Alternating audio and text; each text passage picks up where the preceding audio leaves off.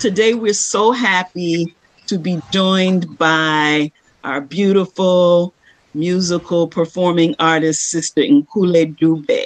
How are you hey. today, sister? I'm okay. How are you, my queen? I'm good. I'm I'm doing very well. I probably should call you doctor because I know we're a couple of generations. yeah, yes, mama. Yes. We're still on the same team, and that's what's mm-hmm. important. Mm-hmm. We really thank you for joining us today as we commemorate Pan African Women's Day. Yeah, um, thank you for having me. Thank you. Yeah, it, when we first um, were introduced to you, we um, found out that Pan African Women's Day, you have a strong, strong feeling about it. So I wondered if you could just elaborate on that a bit for us.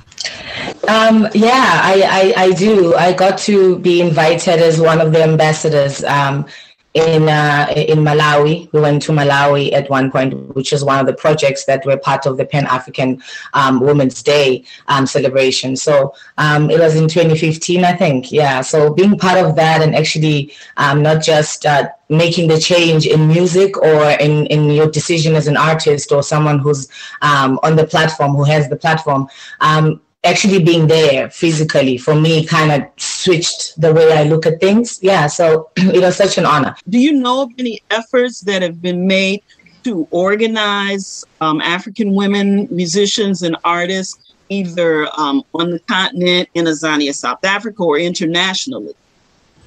Um, yes, there are a few. Um, usually under music, it's uh, festivals, but we would like to have more uh, women uh, festivals, like you know Pan African Women's Day Festival, or you know just have uh, more female, uh, bringing females together in a situation like that. I think it would be more celebrated for young women to see only the whole show it's females. I mean that's like that's like a unicorn, really. It doesn't happen. Like it's so unfair, but it doesn't. It's not a reality. Like they, the, I don't know, the industry will feel like maybe we're not bringing as many as many people um, on shows. I don't know, but I feel like we have enough uh, uh, followers. We have enough, if you may, you know, people who love uh, music differently. So, and another way to to help um, each other get on and push this movement forward is to allow women to be in your space allow other women to be curious about your your your center and who you are and not take it as as, as a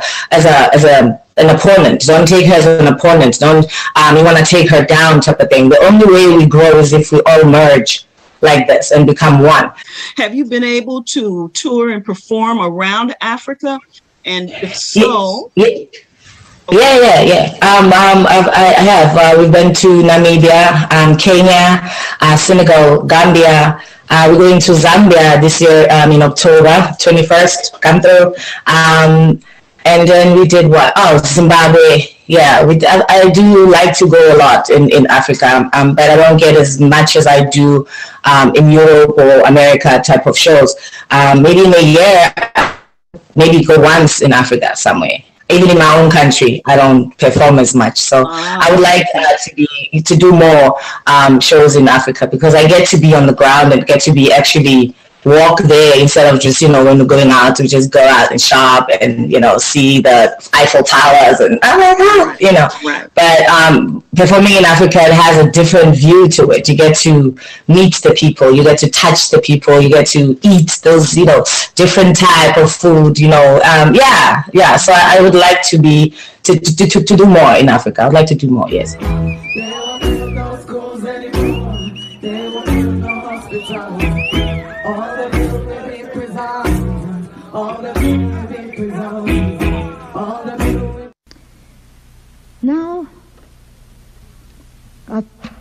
years ago, darker peoples everywhere and their friends was rejoicing because of the liberation of Africa. The United Nations declared 1960 the year of Africa because so many independent African states joined that body that year. And joyous independence celebrations were held throughout Africa. Then in May 1963, at Addis Ababa in Ethiopia, came the first great African Summit Conference. I was there. It was a magnificent pageantry of color and eloquence and passionate speeches. I, we hailed the organization of the, of the, the African unity. The Charter of African Unity was signed there.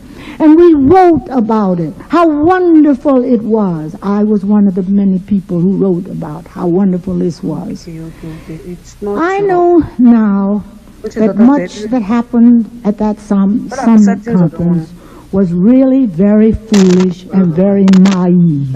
Why do I say that? For how sensible was it to stand up and proclaim our intentions to the world of imperialists, colonialists, neo-colonialists, plunderers, and thieves when we did not have the power to rebuild Africa in our modern world. We boasted at that conference of an independent, united Africa, a strong, bountiful Africa. We told of the marvelous resources of this continent, of how we were going to take them and use them for the development of our own people, how we were going to be able to invite the children of Africa, wherever they were, to come back and share in the riches of this very, very rich continent, beautiful continent. We got up there and told all of our plans. And before the ink on that charter was dry, the enemies of Africa had united to bring us down. And in a short time, wave after wave of coups d'etats swept across the continent, and country after country fell under the man's hammer. Imperialists, neo-colonialists, call them what you will, whether they come from west or east or north or south, they are the same greedy exploiters. Had my generation learned so much that we thought we would liberate Africa by cooperating with the age-old exploiters of that, of, of, of that continent, they who had grown fat and sleek and prosperous had no, never will have, and, and, uh, uh, and, and have not now any intention of retreating into their predominantly cold gray fastness of their northwestern zones. They love our African sunshine, our beautiful broad rivers, our bright gold, our sparkling diamonds, our copper, magnesia, bauxite, and oil. They do not love Africans or the children of Africa, wherever they are. When you hear that Jamaica, independent Jamaica, has a black prime minister, you say, well, those people are in power. That's black power. But that's baloney. That is hogwash. That's a damn lie. But Jamaica wasn't ready to elect a black leader.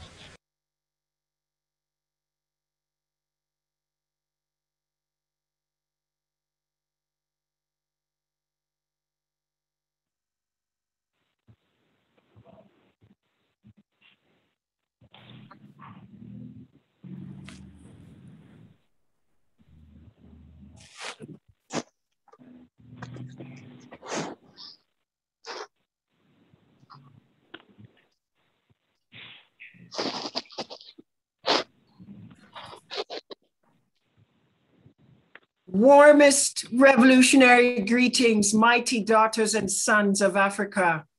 On behalf of the All African People's Revolutionary Party, I, Sister Thandiwe Chimurenga, invite you to Pan African Women's Day 2021.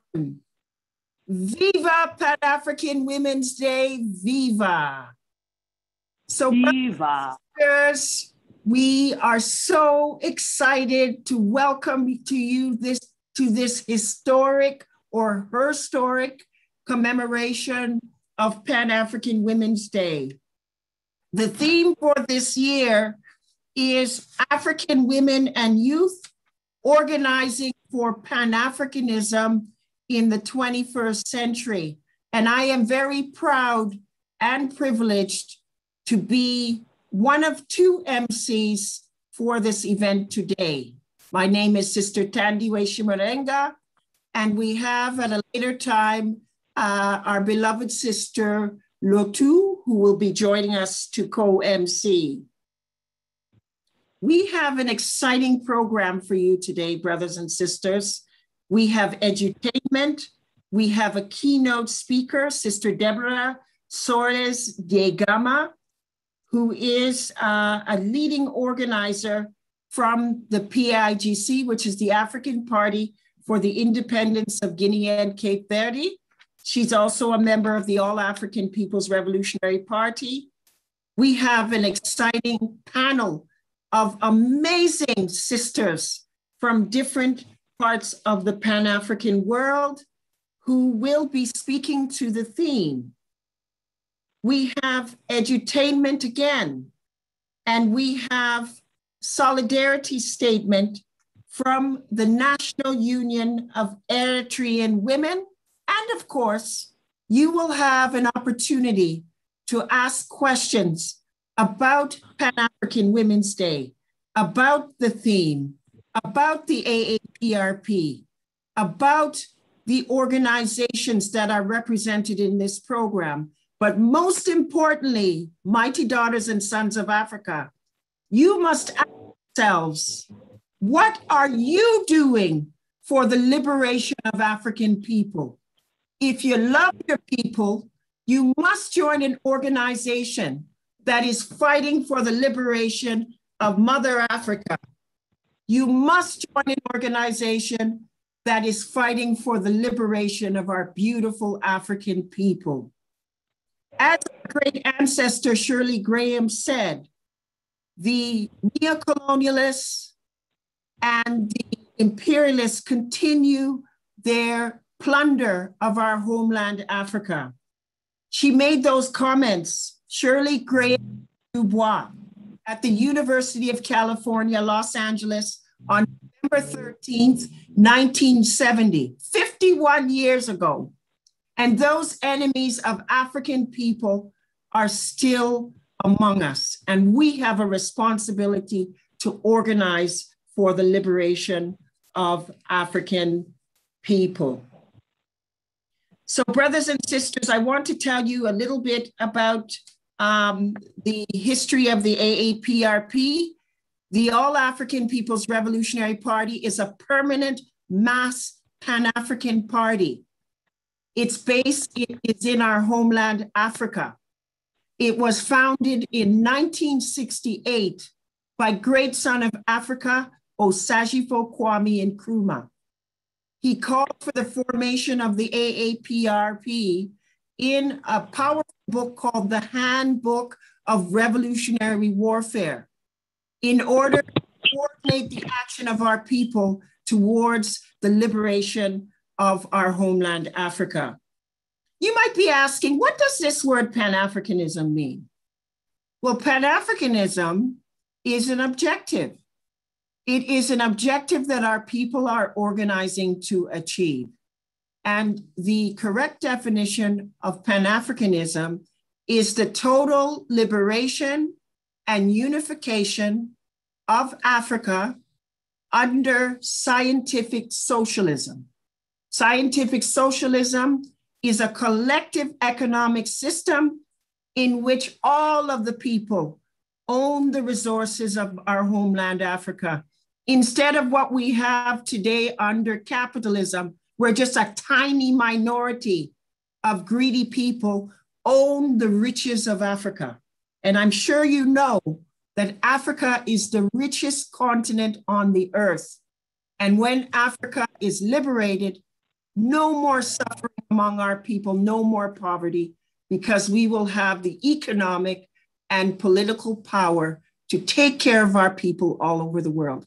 Isn't that exciting, brothers and sisters? a unified socialist Africa is an objective that we in the All African People's Revolutionary Party, the Pan Africanist Congress of Azania, the African Party for the Independence of Guinea and Cape Verde are organizing to achieve. So you have to ask yourselves, what are you going to do for the struggle uh, to help speed up the liberation of our people? So, my brothers and sisters, um, we welcome you to Pan African Women's Day. And we hope that by the end of this commemoration, that if you're not in an organization for fighting for the liberation of our people, that you will join an organization. We are so privileged to have outstanding cultural edutainment. We know, as Ahmed Sekou Toure says, that revolution is an act of culture. And culture is a means to transform the lives of our people through music, through political education, through ideology, and other means. We can and we are transforming the consciousness of our people through revolutionary African culture. So we are privileged to welcome our beautiful, powerful Pan African sister, Sister Abina Disro. And I will read her bio. She's done a lot of great things. Sister Abina Disro has been called a poet for the people. She is a spiritual healer poet. And finally, being given the title High Priestess of Poetry by the Washington, D.C. community. She is the embodiment and definition of community empowerment, organizational leadership, creativity, and compassion. While using her art and poetry as therapy for cancer patients at Howard University, Sister Abina has become a treasured and accomplished cultural ambassador, organizer, and spiritual leader with the gift of being able to bring diverse people together to work and collaborate successfully. Please help me and giving our beloved sister, Abina a warm revolutionary Pan African Women's Day greeting. Sister Abina, Welcome. Thank you very much. Peace and blessings. And I'll get right to my cultural presentation. Societal ills. The indigenous side of this place has been erased. So many have died, the elders' wisdom no longer guides this society. A monster grows, feeding off of instant gratification, ignoring the need, always hungry for the want. That appetite grows like Pinocchio's nose, manipulating its way with lies. This monster grows stronger and stronger every day, destroying and consuming everything in its path. You do the math. Our society is mentally and physically dying, time out for trying, where are the chosen few that will stand up and do the do, accepting the responsibility for what needs to be done to evoke, awaken, and change? It's a brain game that is driving many insane. Right is now wrong, and wrong is now right, and the truth is nowhere in sight. So I exercise my might, keeping my overstanding tight to survive the night I must make it to the morning light. So many shifting around me. I step myself so the negative cannot find me. But there is one who sees me and his eyes burn red and he glides from place to place like he's connected to a thread. This X ray sighted entity followed me and cornered me and engaged me in a brief fight. I see what I was made of just to see what I was made of. In the melee, he cut me and I bled, and in the sight of it all, he fled. Why? I do not understand until I became silent. For my blood began to cry out. It was ancestral voices I was hearing echoing in my head, influencing my thoughts, spirituality navigating me to a place not yet known, traveling a path after a mental war aftermath physically afflicted, spiritually discombobulated. My spirit is overlaid. My mind conceives. Mouth gives birth to the truth that is 777 proof. I seek to a higher place. So I take to a mountaintop where I can gaze at what is going on in society. A clear look in a place where my voice carries the loudest at the sight at what I see. It moves me deeply creating high emotions, manifesting tears of blood. My eyes create a flood that drips from my face onto my white clothes. Soil like the ugly in the world. I need to see more. My wings are dry, so I fly high. And once again, it's on. You can now, you can live now that I came. Witness what may be strange your thoughts I rearrange, fully quoted by King James, revealed by the time, surprise you like Columbine, infinite wisdom with a storm intertwined, with step I exist, with strength I persist, with all your might you try to resist. Now the masses got clashes. Man is doomed to dust and ashes. But I have came to bring the classes into realms you cannot imagine. Picture a perfect world where gods are boys and girls growing up in unison, treating life like a pearl, birthing love to change things. I love to bring things. My life is an attempt to destroy and build things. 911, they scream, yet there is no more to be seen to escape to New York to unravel and expose things. Brought you closer to witness that we failed. 911 is global scale. That which you used to see on TV is now your own personal hell. Now I'm here to redeem you. You should have seen you standing there in the darkness, waiting for me to freaking bring you into infinite light, where days are the same as night. My very presence is the wind, as your mind is a kite. Take flight and go global, then galactic like a rocket. The wrath of Alcatraz couldn't gravitate or stop it.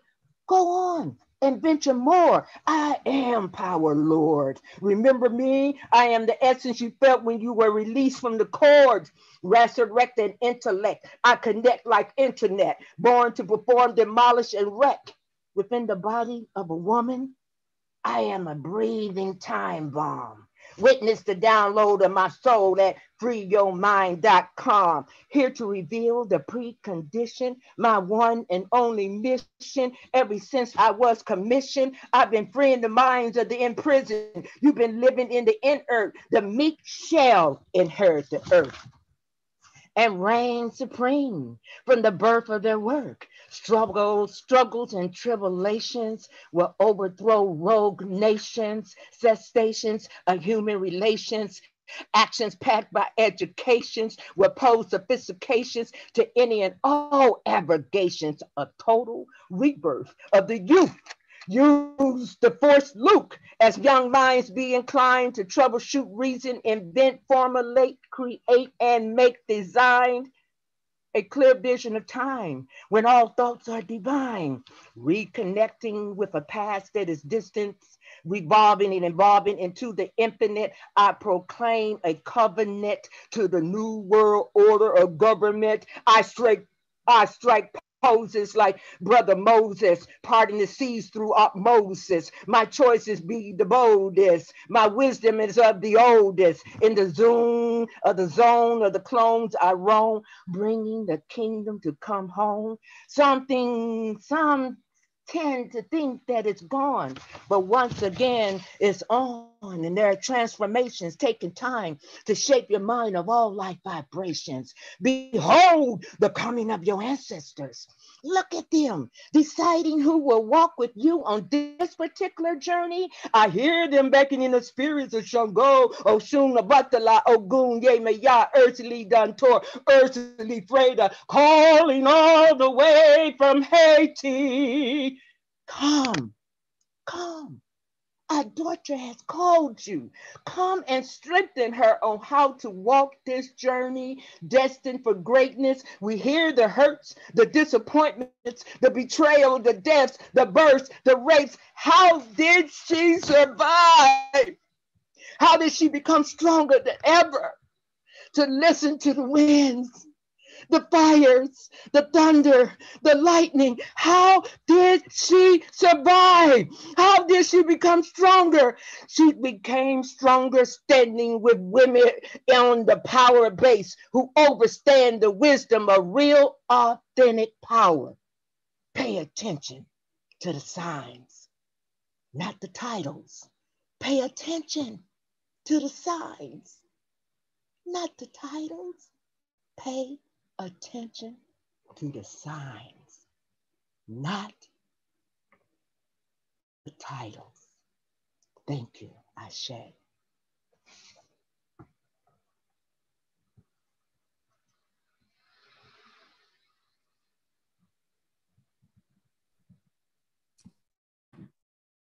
Now, brothers and sisters, wasn't that powerful? Wasn't that uplifting?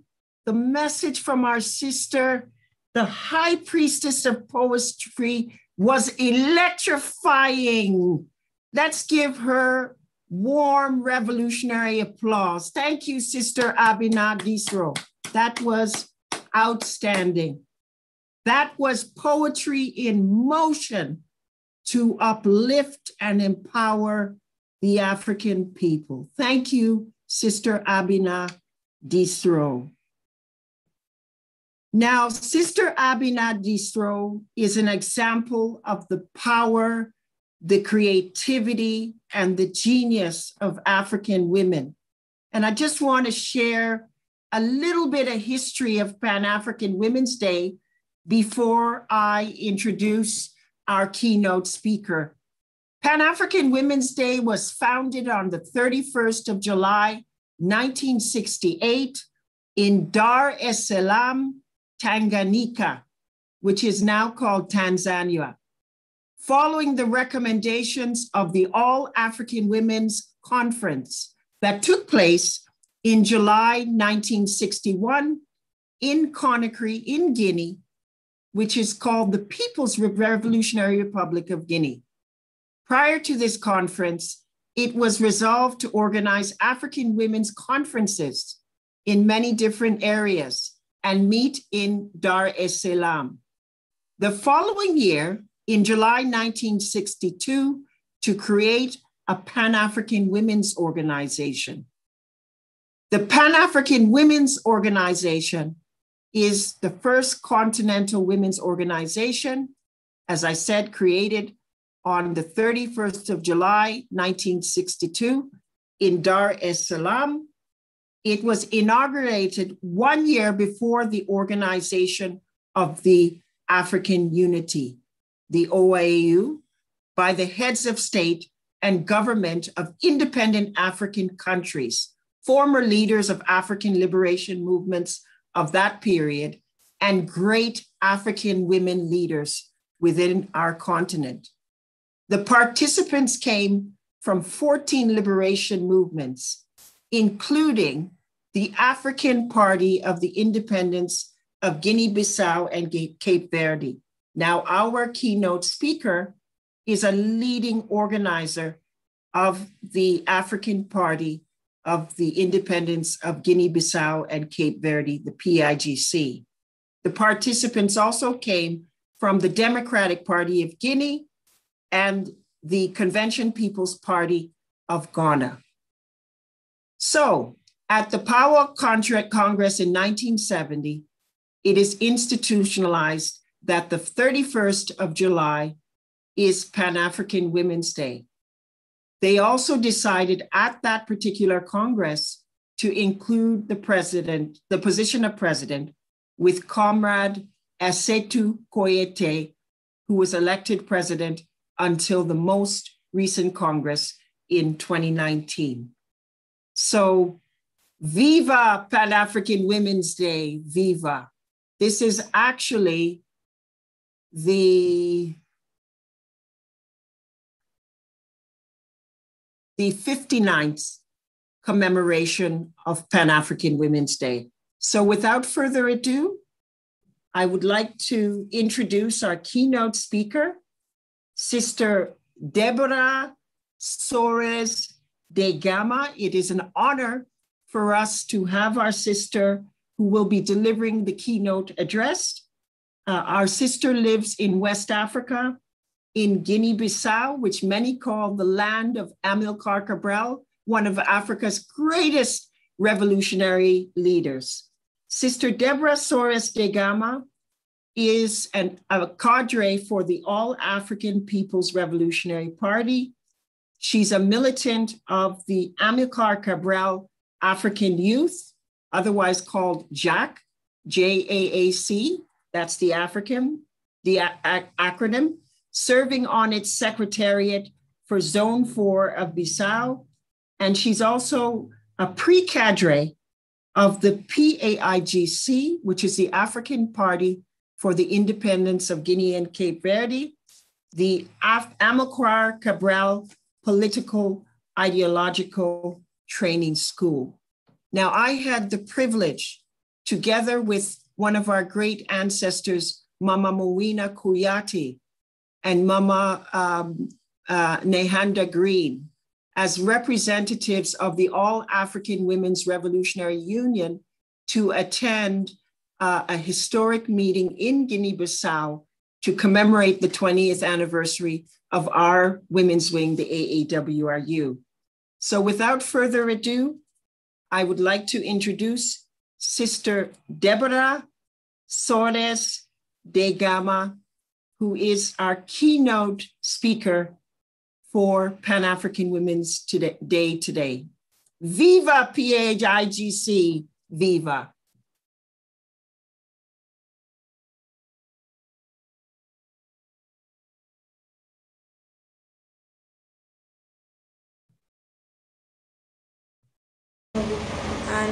Dia das Mulheres Pan-Africanas. 31 de julho de 1962, Dar es Salaam, seguido de recomendações da Conferência de Todas as Mulheres Africanas, Conferência de la Femme Africaine, que ocorreu em julho de 1961 em Conakry, República Popular Revolucionária da Guiné. Antes desta conferência, foi decidida organizar a Conferência de Mulheres Africanas em Kadar, movimentos de libertação e países independentes africanos, e reunir-se em Dar es Salaam, Tanganyika, no ano seguinte, em julho de 1962, para criar a Organização Pan-Africanista das Mulheres. O nosso processo ocorreu para jovens e trabalhadores, ou seja, cada área realizou conferências nacionais para criar sindicatos nacionais de trabalhadores e organizações nacionais juvenis de jovens africanos, seguidas pela Organização da Juventude Panafricanista Continental Africana e pela União dos Trabalhadores Panafricanos. O plano era que depois da Conferência Continentais Africana de Jovens, de Trabalhadores e Mulheres, eles formassem uma organização panafricanista de massas a nível continental. Para coordenar nessa luta, para alcançar uma África totalmente libertária e unificada com o socialismo.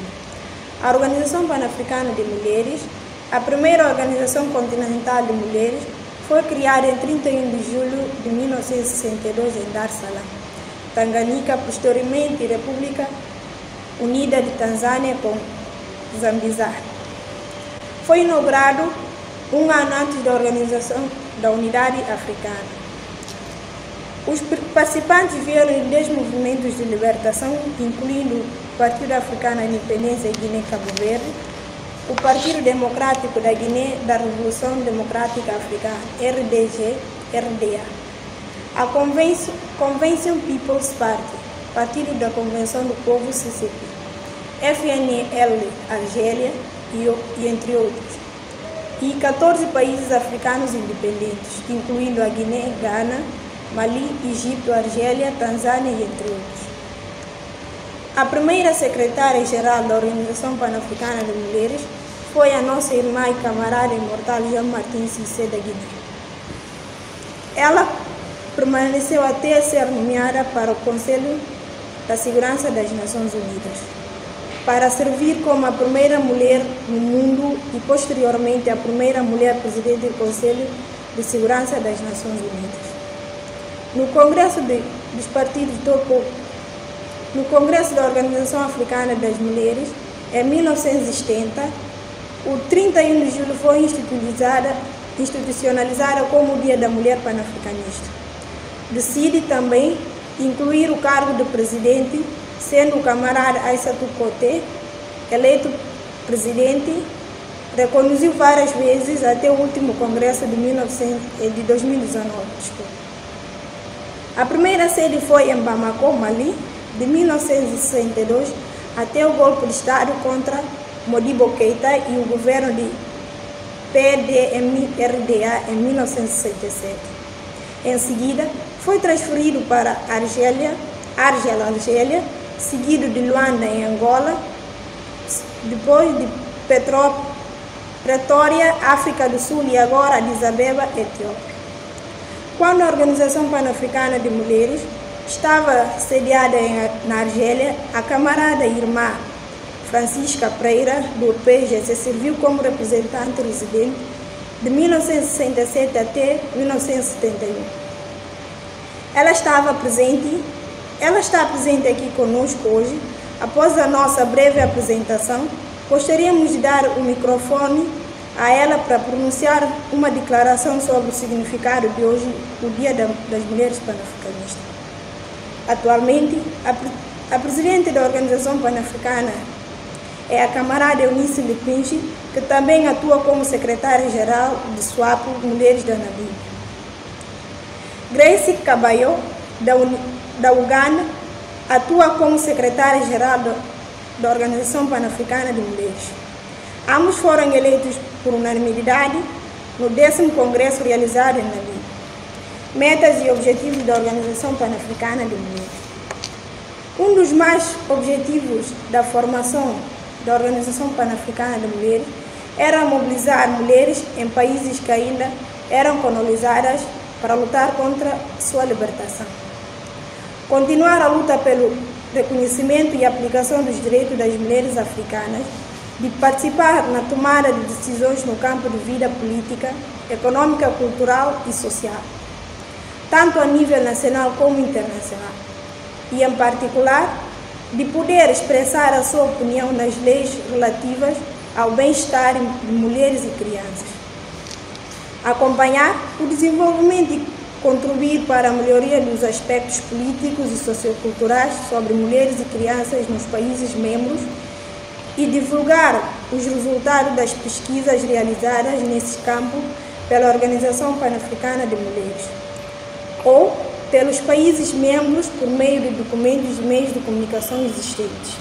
As ações tomadas em nível nacional e internacional com o objetivo de acabar com as graves violações dos direitos humanos e violações contra as, as mulheres. Apoiar todas as ações dos governos africanos, promover a unidade efetiva entre os Estados africanos por meio da amizade e cooperação para uma paz genuína Estabelecer relações contínuas de amizade e cooperação entre mulheres africanas e mulheres em todo o mundo. Apoiar a cooperação interna e participar em todas as ações para a saúde, armamento e consolidação da paz na África e no mundo. Progredimos, mas ainda não atingimos todos os nossos objetivos. Nosso inimigo ainda trabalha contra nós. Nós também ainda trabalhamos contra os nossos inimigos. A organização é a chave Precisamos mais de organizadores com consciência revolucionária para contribuir com nossa tarefa gigantesca. Quando a amiga Cabral prestou homenagem a Kwame Nkrumah, câncer de traição, ele disse: O presidente Nkrumah, a quem homenageamos, é principalmente o grande estrategista da luta contra o colonialismo clássico. Prestamos homenagem ao inimigo declarado do neocolonialismo na África e em outros lugares. No que diz respeito ao neocolonialismo, todos agora sabem que o livro de Nkrumah Neocolonialismo, a última etapa do imperialismo. É uma análise profunda e materialista da realidade, a terrível realidade em que se encontra o neocolonialismo em África. Conforme definido por Nkrumah, o primeiro presidente de um Ghana independente, o conceito do neocolonialismo nos alerta sobre o potencial impacto regressivo de formas não regulamentares de ajuda. Comércio investimento estrangeiro direto em relação à redução da pobreza e bem-estar dos países africanos. Quando a Organização Pan-Africanista de Mulheres foi criada em 31 de julho de 1962, um dos seus objetivos era mobilizar as mulheres em países que ainda eram colonizados para, para lutar por sua libertação, apoiar ações tomadas em nível nacional e internacional, com o objetivo de acabar com as graves violações dos direitos humanos e violações contra as mulheres. Suas organizações de mulheres africanas, como a UDEM do PGC, a ALMA do MPLA, a OIM do Frelimo, a URFG do PDGRDA, Mulheres de Suapo e outros, aumentaram nossas contribuições para acabar com o neocolonismo clássico. Por volta desse mesmo período, o colonialismo clássico foi sendo substituído pelo neocolonialismo. A essência da exploração, opressão de gêneros e racismo ainda mesma. Em vez de, das bandeiras europeias serem erguidas em nossos países, em exércitos e administrações europeus, a mesma potência capitalistas e imperialistas europeias, tanto nações quanto cooperações, continuem a dominar os países subjugados por meio das operações do capitalismo internacional e não por meio do governo direto. Eles manipulam governos neocolonialistas africanos fantoches. O trabalho dos africanos ainda é explorado, enquanto os capitalistas ainda se beneficiam dos frutos dos nossos trabalhos. Eles ficam mais ricos enquanto nós ficamos mais pobres. Como Kurma mencionou, o neocolonialismo de hoje representa o imperialismo que o seu estágio final e talvez o mais perigoso. No lugar do neocolonialismo como principal instrumento de imperialismo, temos hoje o neocolonialismo. A essência do neocolonialismo é que o Estado está sujeito a ele é em território independente de todas as armadilhas externas e soberania internacional.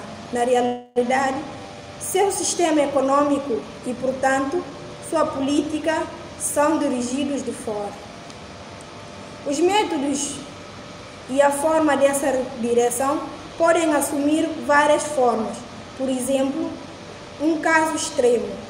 As tropas do poder imperial podem implantar as suas bases no território do Estado neocolonial e controlar o seu governo.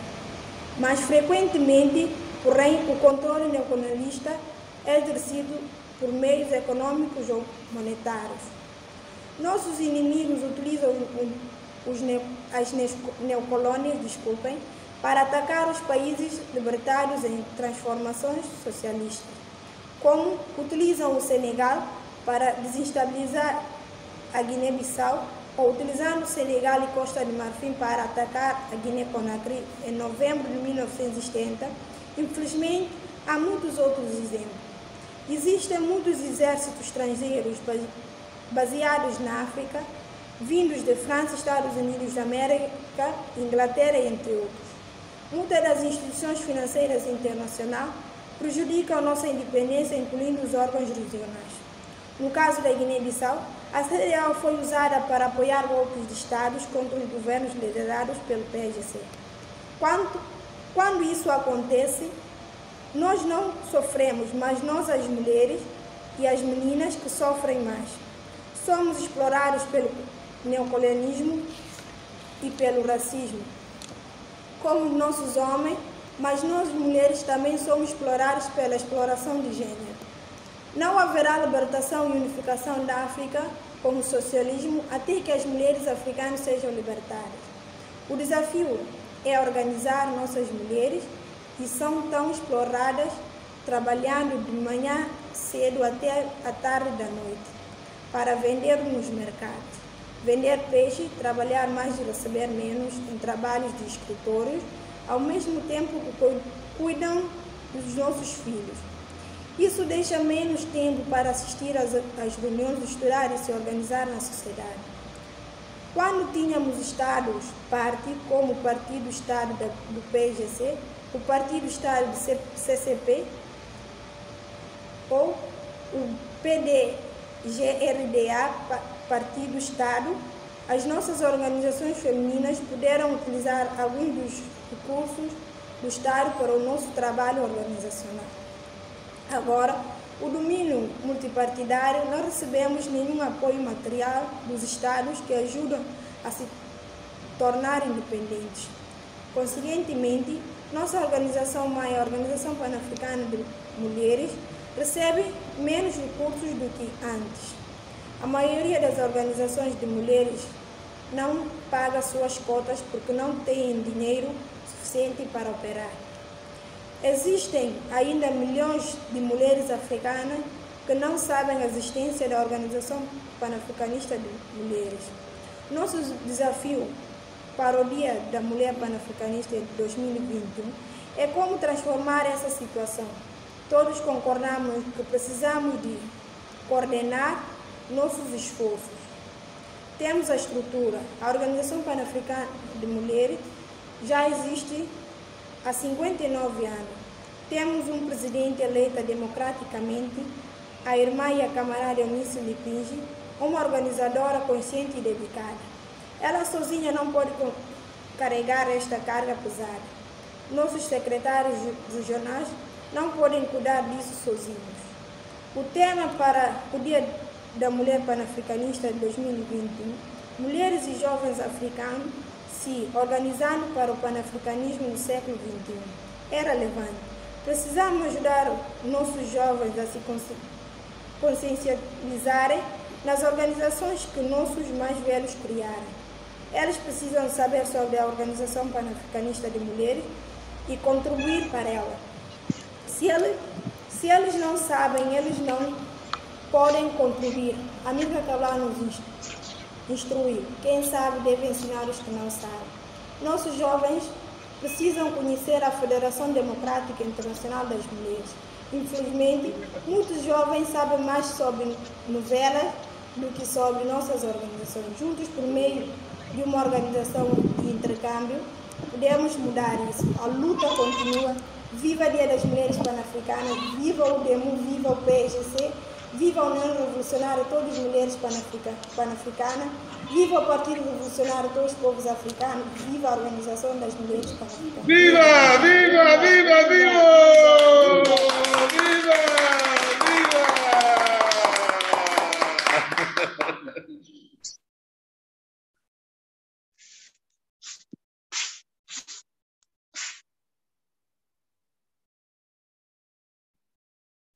Viva PIGC, viva!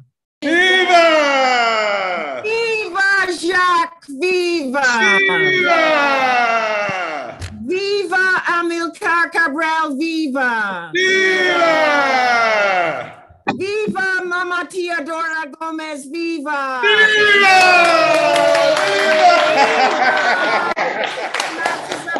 Bissau, viva! Viva! Long live the African Revolution! Thank you so much, Merci beaucoup, Sister Deborah Soares de Gama. We pay tribute to Mama Teodora Gomes, all the members of the PAIGC, the African Party, for the independence of Guinea, Bissau, and Cape Verde. You keep the vision of our leader, Amilcar Cabral, alive. You are fighting for the unification of Africa from Guinea Bissau. You are implementing the directive of Great Son of Africa, Kwame mm-hmm. and the Handbook of Revolutionary Warfare to build the All African Committee for Political Coordination. So we are so excited that our beloved sister, Deborah Soares de Gama, has given us a history of the work that's being done the sacrifice, the political education, and stress na organization. So we thank you, Sister Deborah Soares de Gama, who is a leading cadre in the African Party for the Independence of Guinea and Cape Verde. She's an AAPRP cadre for the All African People's Revolutionary Party. She is part of the women's wing, the All African Women's Revolutionary Union, which is the women's wing of the All African People's Revolutionary Party. And she is also a militant of the Amilcar Cabral African Youth, JAAC. And these structures, these organizations are the vehicle that we daughters and sons of Africa need to organize for our unified socialist Africa. The theme, my brothers and sisters of Pan African Women's Day 2021, is African women and youth organizing for Pan Africanism in the 21st century. So we encourage you, if you haven't joined an organization in your life, join the All African People's Revolutionary Party, join the PAIGC, join the Pan Africanist Congress of Azania, join Black Lives Matter movement, join any organization that is fighting for the liberation of our people, because it's only through organization and political education that we will achieve Pan Africanism.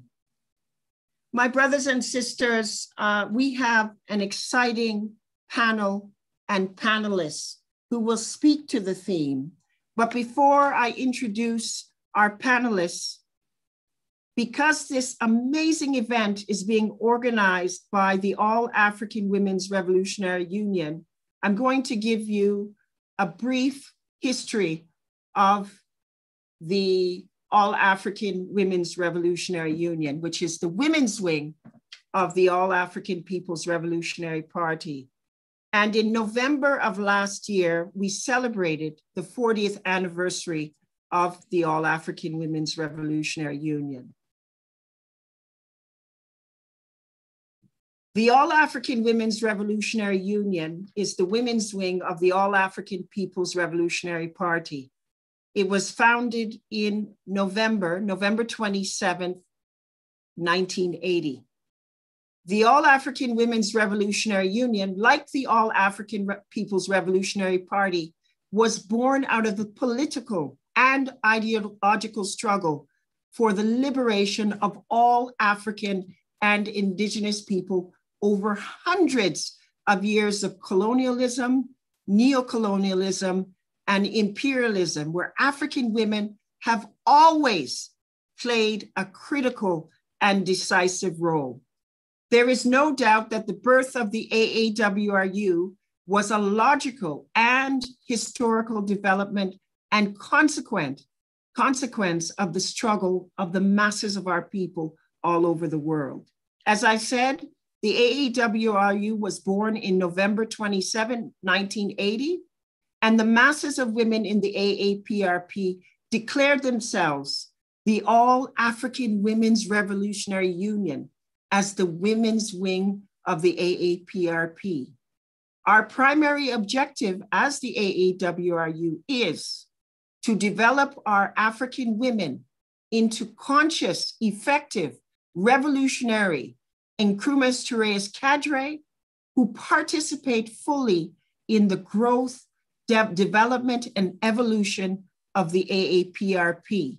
Number two is to ensure that African women struggle jointly, side by side with African men, for the development and expansion of Pan Africanism and against all forms of exploitation and oppression, including racism, capitalism, and sexism. And, brothers and sisters, in order to wage that kind of ideological and political struggle, we must be an organization. We must study our history and culture as African people, and we must respectfully struggle against the wrong ideas that we have been indoctrinated with through the imperialist capitalist system that miseducates our people every day 24 hours, seven days a week. The mandate of imperialism is to miseducate and divide the people. We come to politically educate and unify the masses of African people, African women and men all over the world for one objective Pan Africanism, the total liberation and unification of Africa under scientific socialism. The third objective of the All African Women's Revolutionary Union is to work jointly with revolutionary women and men worldwide through the AAPRP and the AAWRU towards the accomplishment of scientific socialism, incorporating certain revolutionary principles of egalitarianism and humanism. Now, this Pan African Women's Day program is a shining example of the outstanding work of the All African Women's Revolutionary Union because we have our sister Deborah, uh, who just spoke. She is a member of the African Party for the Independence of Guinea Bissau and Cape Verde in Guinea Bissau. We have revolutionary relationships that we have built with the Pan Africanist Congress of Azania and their women's wing. We have relationships and work that we have done with formations in Sierra Leone, in Ghana, and other parts of Africa and the Caribbean. Because in order for our people to be free, we must build these revolutionary um, relationships through the principles of egalitarianism and humanism. I'm going to conclude with the history of the AAWRU by saying that our story is the journey of the perseverance of our people, of African people, through the determination and the outstanding courage, commitment, organizational capacity of the African woman. African women make up at least 53% of the African nation at home in Africa and worldwide. So we are the foundation of the African nation. And we love our men and we work side by side with them in order to fight against capitalism. We don't fight among ourselves.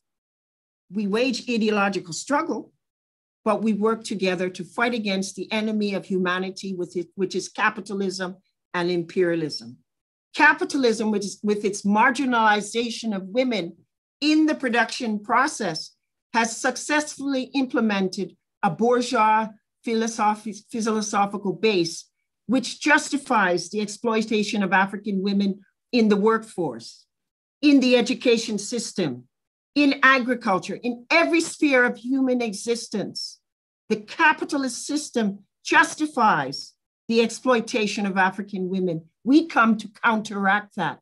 We are revolutionary African women, and we will continue to organize with our sisters in these various Pan African organizations in Africa and outside of Africa until we achieve Pan Africanism. I want to highlight um, some of the, uh, the work that we have done over the past 40 years. And one of the key themes of the AAWRU, which emerged in the first 20 years of our history, was the call for the social revolution. The social revolution is about equality of African men and women.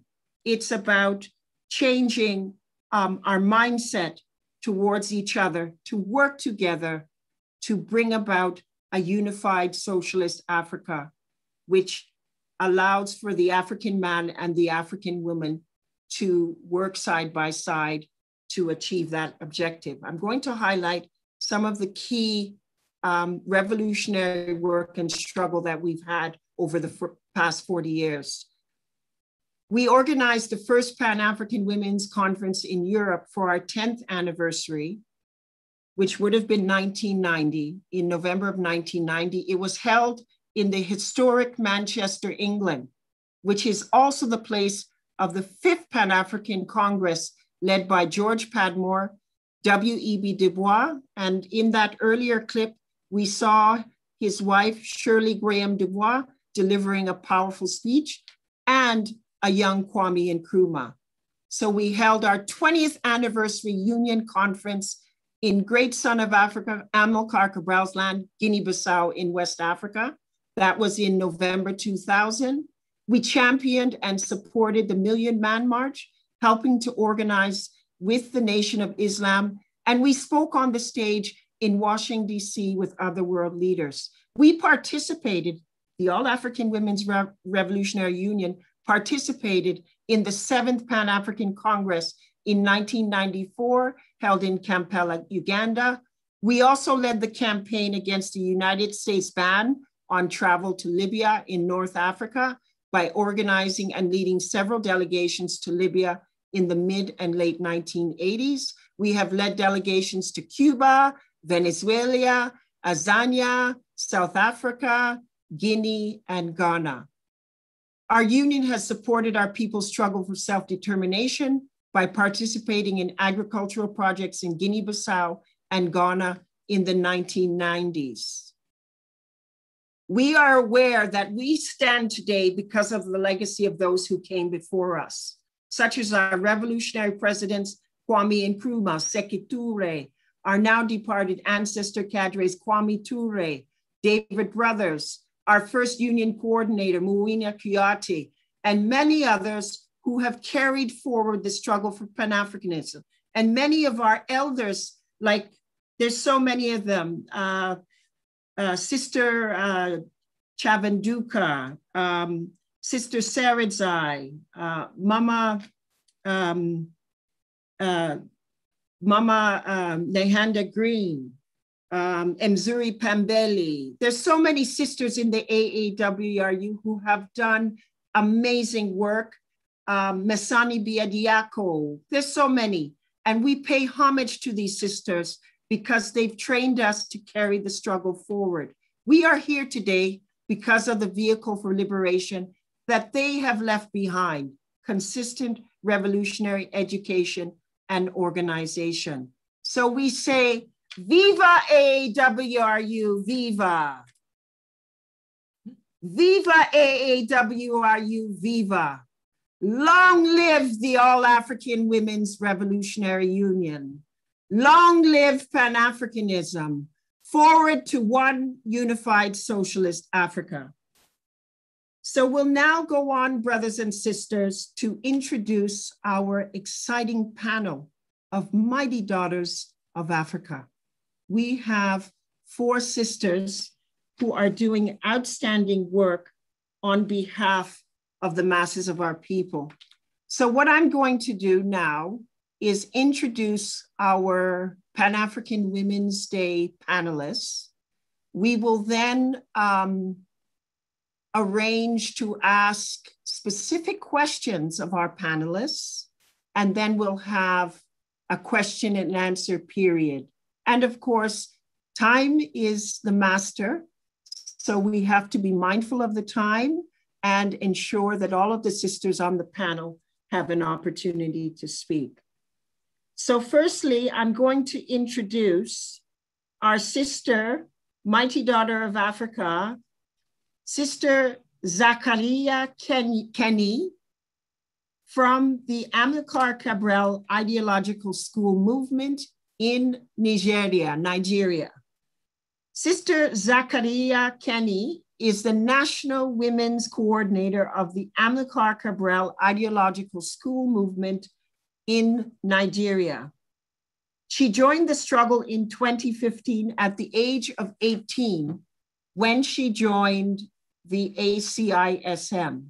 In her role as national coordinator, she is in charge of all affairs related to women in the organization at both the local and the state branches, both the local and the state branches. Let's, let's give Sister Zakarriyah Kenny a warm revolutionary welcome. Sister Zakarriyah, are you here?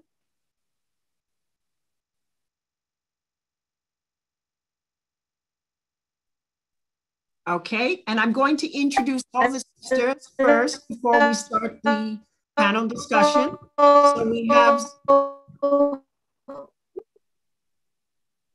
okay, we have her here. Uh, Hello, everyone. our second panelist is Sister from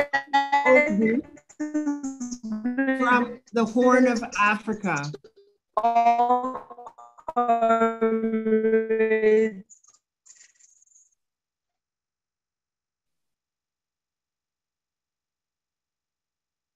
Brothers and sisters, can you hear me? I want to make sure that you can hear me.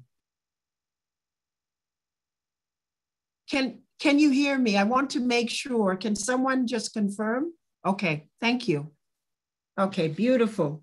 So uh, we have Sister Zakarriyah Kenny. Um, thank you, Sister Zakarriyah Ke- Kenny, for appearing there. Our second sister is Sister Yolian Ogbu from the Horn of Africa. Uh, she is a member of the Pan African for Solidarity and Liberation Organization in Eritrea. Yolian is a 22 year old Eritrean who is an organizing member of the Horn of Africa Pan Africans for Liberation and Solidarity organization. She works with the organization to strengthen class consciousness amongst the Horn of Africa diaspora and to unify on Pan Africanism and anti imperialism principles. She has engaged with Black Alliance for Peace in discussing the challenges in internet, in, sorry, intergenerational Black radical movement building. Let's give Sister Yolian Ogbu a warm revolutionary Pan African Women's Day greeting. Thank you, my sister. Welcome.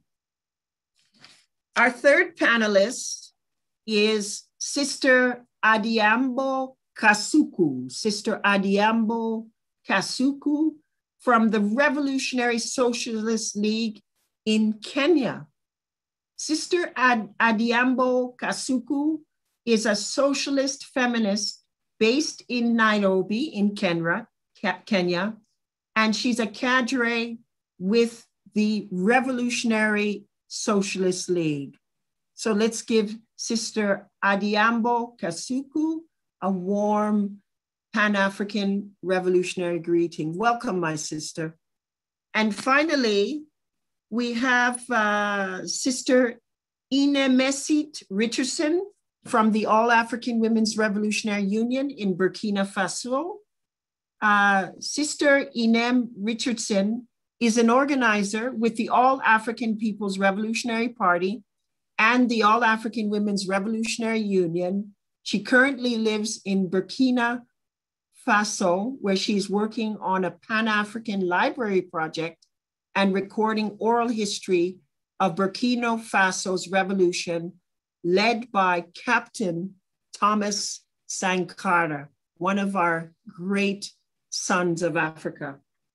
The objective of her work is to build bridges between Africa and the African diaspora, to promote popular and political education, and to work with others to achieve Pan Africanism. So let's welcome Sister Inemesit Richardson to this exciting and historic Pan African Women's Day panel. Thank you, my sisters. Now I'm looking at the screen and I need to see all of your beautiful faces. Please um, unmute. And uh, I, I can see there's one sister who I'm not seeing. Okay, Sister Adhiambo is here. Sister Inemesit is here. Where's Sister Zakarriyah? There she is. Beautiful sisters. Thank you so much. So without further ado, we are going to um, have our panel discussion. So what I'm going to do, sisters and uh, attendees who are listening, is I'm going to read out questions, but I will do them one at a time, and each of you will have an opportunity to respond. Given the time limit on the program, you literally have about two minutes each.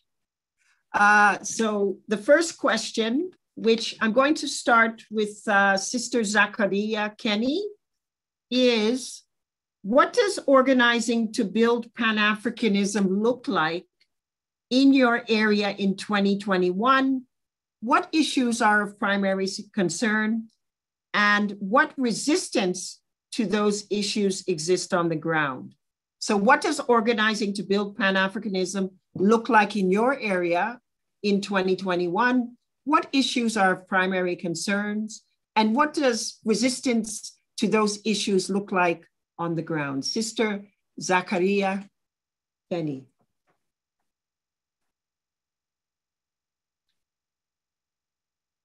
Can you please unmute Sister Zakarriyah?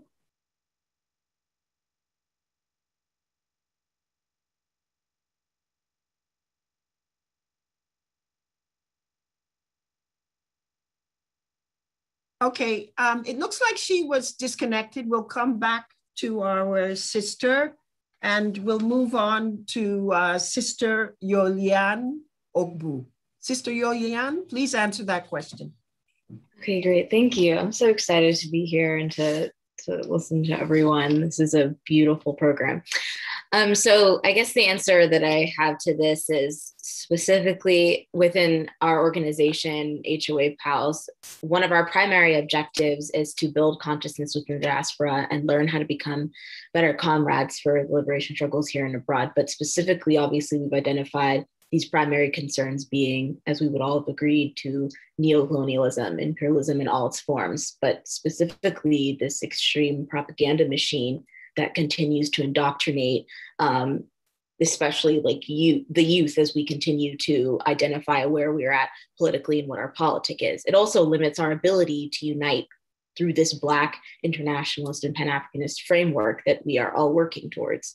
So the way i see it is that it's all about building consciousness that in turn will activate the political will of the masses. Because i would say that we have we have the mechanics that has been drawn out by folks that have written, I mean, the founders of this very organization have written out the mechanics to how we we work through the struggle and um, work towards Pan-Africanism and achieve that.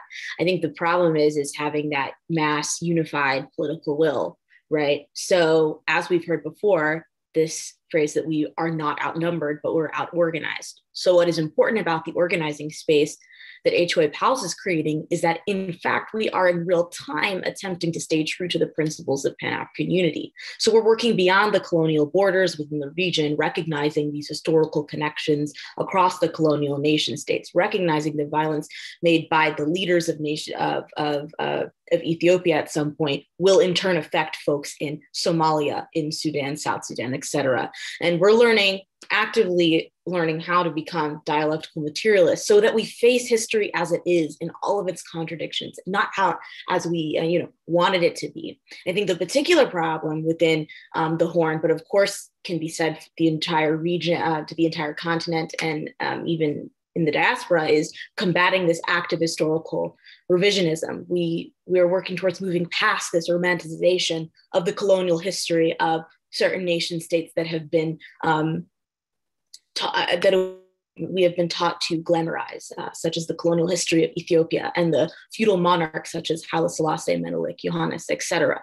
So these are the these are the biggest um, items and objectives that we have within our organization um, as we continue to maintain um, these principles of Pan Africanism. But one of the other things that I have to this is also recognizing that young people are being consumed at the you know as if in the age of maybe 10, 11, 12, consumed by all of these types of industries and indoctrination that helps us to divert our attention to organization. So we learn how to become uh, social media youth activists and not how to actually learn how to become comrades, how to become dialectical materialists, how to understand struggle, how to be a part of it um, and, and work together. And so we can talk about that more, but those are some of the answers that I have to this question. Thank you.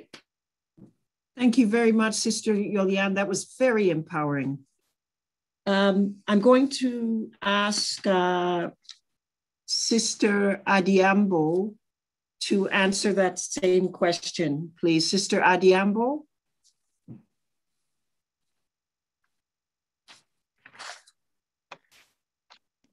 Sister Adhiambo is a leading organizer with the Revolutionary Socialist, Socialist League of Kenya. Right. Um, hi, comrades. Uh, so the question was, uh, what does Pan-African um, organization look like here? Uh, I am a member of the Revolutionary Socialist League in Kenya. We work with various uh, progressive uh, radical movements on the across the continent and in the diaspora. Uh, we work closely with um, Nkrumah School in South Africa. We work with, uh, of course, the All African People Revolutionary Party. Shout out to AARP for putting this event together. So um, what does a Pan-Africanist, Pan-Africanist uh, organization look like here? Well, we are in correspondence with, with a lot with with many comrades across the continent and in the diaspora, as I mentioned. We have various uh, study, uh, study sessions uh, to study Pan-Africanism and you know, uh, um, study the evolution of Pan-Africanism and the future of Pan-Africanism. As my comrade Yolian has mentioned, uh, we are supposed to be dialectical materialists. So we don't romanticize anything. Uh, we, you know, we are scientific socialists. We look at things from a very objective perspective. Um, we analyze our current material conditions and, you know, we, we talk a lot about what does it mean to be a Pan-Africanist and who is a Pan-Africanist? I mean, two years ago, um, when uh, Robert Mugabe passed away, we had all this debate about um, was he a Pan-Africanist?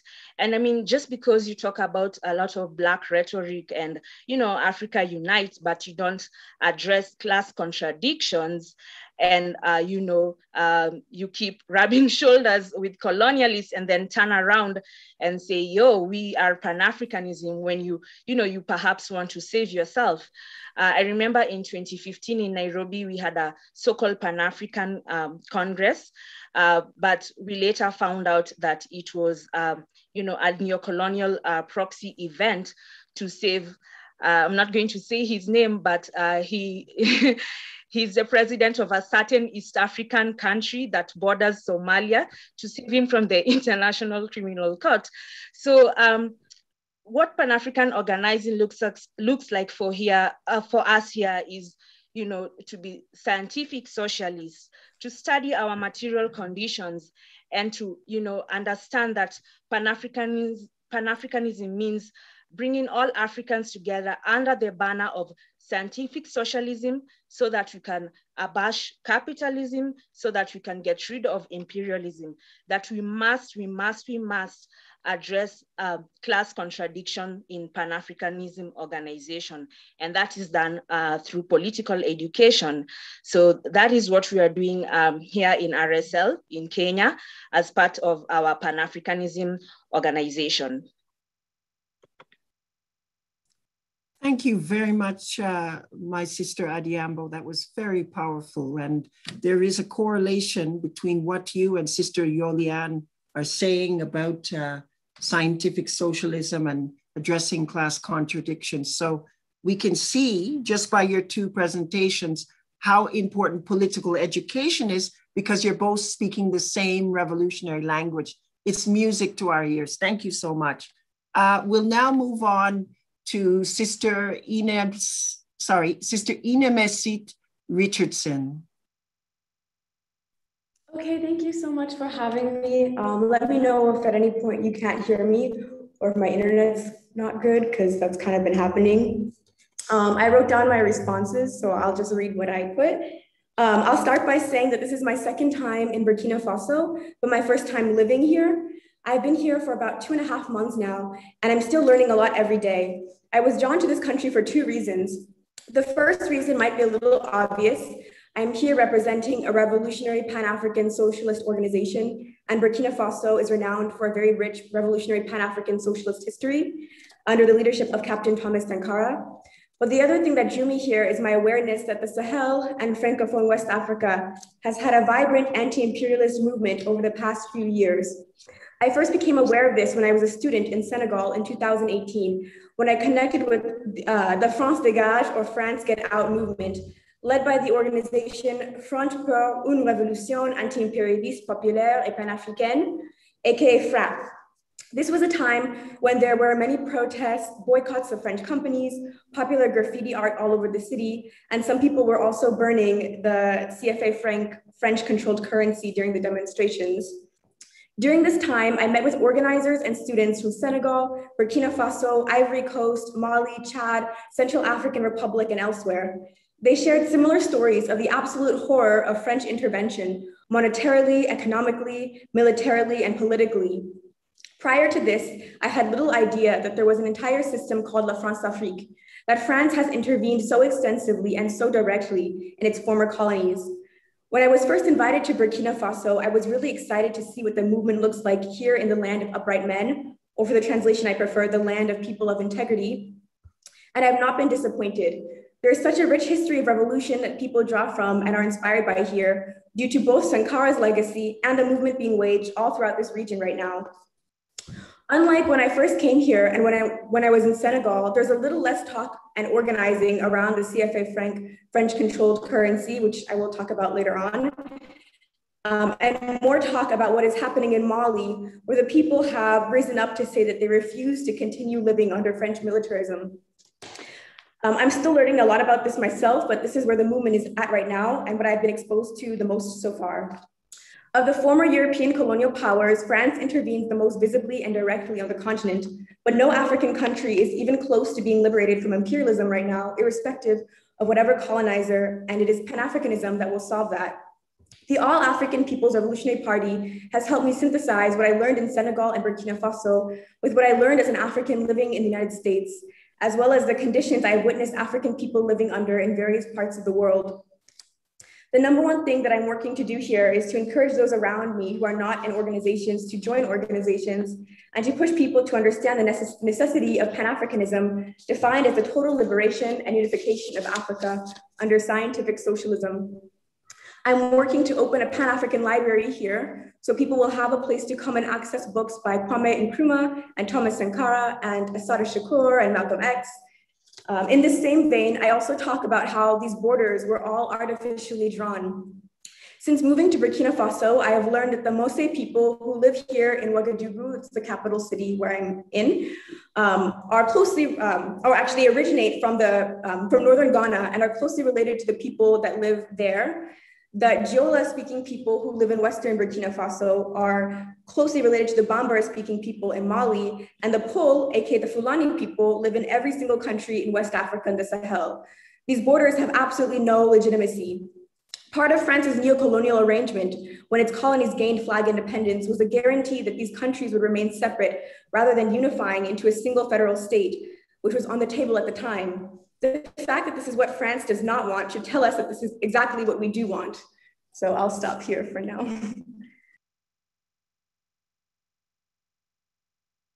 Thank you so much, uh, Sister Inemesit. Again, it is um, music to our ears to hear you talk about the reality of French colonization and the outstanding work that our people are doing uh, and the attempt to build the library. Very inspiring. Thank you so much. So we now have uh, Sister uh, Zakarriyah Kenny from the Amilcar Cabral Ideological School Movement who will answer the question. And I just want to repeat that the theme of Pan-African Women's Day is African women and youth organizing for Pan-Africanism in the 21st century. Sister Zakarriyah Kenny is from the Amilcar Cabral Ideological School Movement in Nigeria.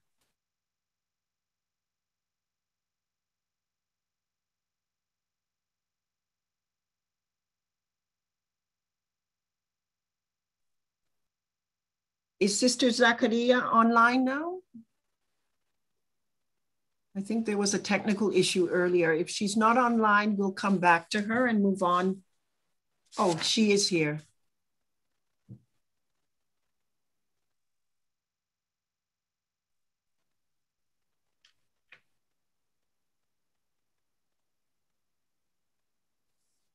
Sister Zakarriyah, can you hear me?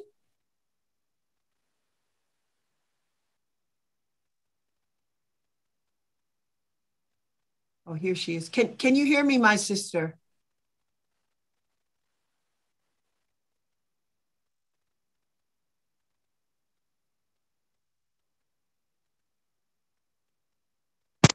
Hello. Revolutionary greetings, my sister. Can I start now? Yes, you can. Okay. Uh, before I started, I would like to define what Pan-Africanism is. Pan-Africanism is a worldwide movement that aims to encourage and strengthen the bond of solidarity within Africa. So the main goals of Pan Pan-Africanism is it was created for it was Africa. So now how does it look like to us? Ideological school movement in Nigeria, we organize people through training and political education. So we try to raise their consciousness. We introduce Marxism, um, the issue of our past leader through documentation, and we tried and through a class struggle, because we need to raise their consciousness so that they will see that what is happening in Nigeria is the same problem that is happening uh, in other uh, Africa, in other part of Africa, but it's just a different problem. Like we said, a diversity of problem. So we have different way. Um, so that uh, different way we attend to the problem and different problem from di- uh, different dimension. So we have in ACISM, we have our local chapter. We organize our meeting twice in a, mo- in a month. In a month, so we have national um, lead national leadership the national leadership we have our retreats where we organize people from different um, local chapters. We have 70 chapters in Nigeria presently out of 36 states. We have our branches at 17 states. So we try to organize our retreat through uh, its physical retreat. We try to, to monitoring the challenges and the progress of the each chapters to accommodate ourselves, to share ideas and interest to talk about Nigeria at large. So we try to see because when we are in this organization, we need because Nigeria it has been a capitalist society, so it hasn't been easy to organize the young people for uh, Pan Africanism. But we need to through um we need to raise their consciousness through training so that they will say that the reason for this that is happening it is because of lack of unity among us. Because that what the capitalists want, what they really want is that they want to divide us. They want our youth to, they want to divide their mind to something material. So they believe they are not useful to the society. So we need to now bring them back.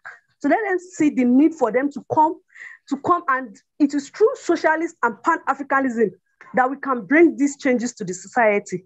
So we believe that we can achieve this through Pan-Africanism and through uh, socialist, um, social, uh, scientific social, social uh, movement. So we always make, we always welcome every member, whether you're a working class, whether you are not a working class, because we all have common enemy and same uh, common interest. So we need people to know that we there's no discrimination. Whether you're a Muslim, whether you're a Christian, you are welcome to Aziza because we believe we are fighting one common enemy. So we don't discriminate. And um, we are talking of what, uh, what are the primary issues. Like I've said that it is not easy to organize Pan-African in Nigeria because it is very much influenced by the West and Nigeria is a capitalist state. So the youth believe more in material world. And this has been, and this is this this happened due to the unemployment that rises in the country. And majority of people, majority of people in Nigeria live below the standard of living. So it is not easy because they believe, okay, someone that has not eaten, how do you want to tell people that come to this place? Let's go for the, let's go for struggle. So that hasn't eaten anything, you can't expect such person to come forward that you want to protest. So we need to let them say, okay, the reason why you haven't been given your rights, the reason why you haven't, it's because of the, it's because of the problem, our leader. It's because of them that all these things is happening. So if you truly want your right, you want your freedom because no freedom comes for free.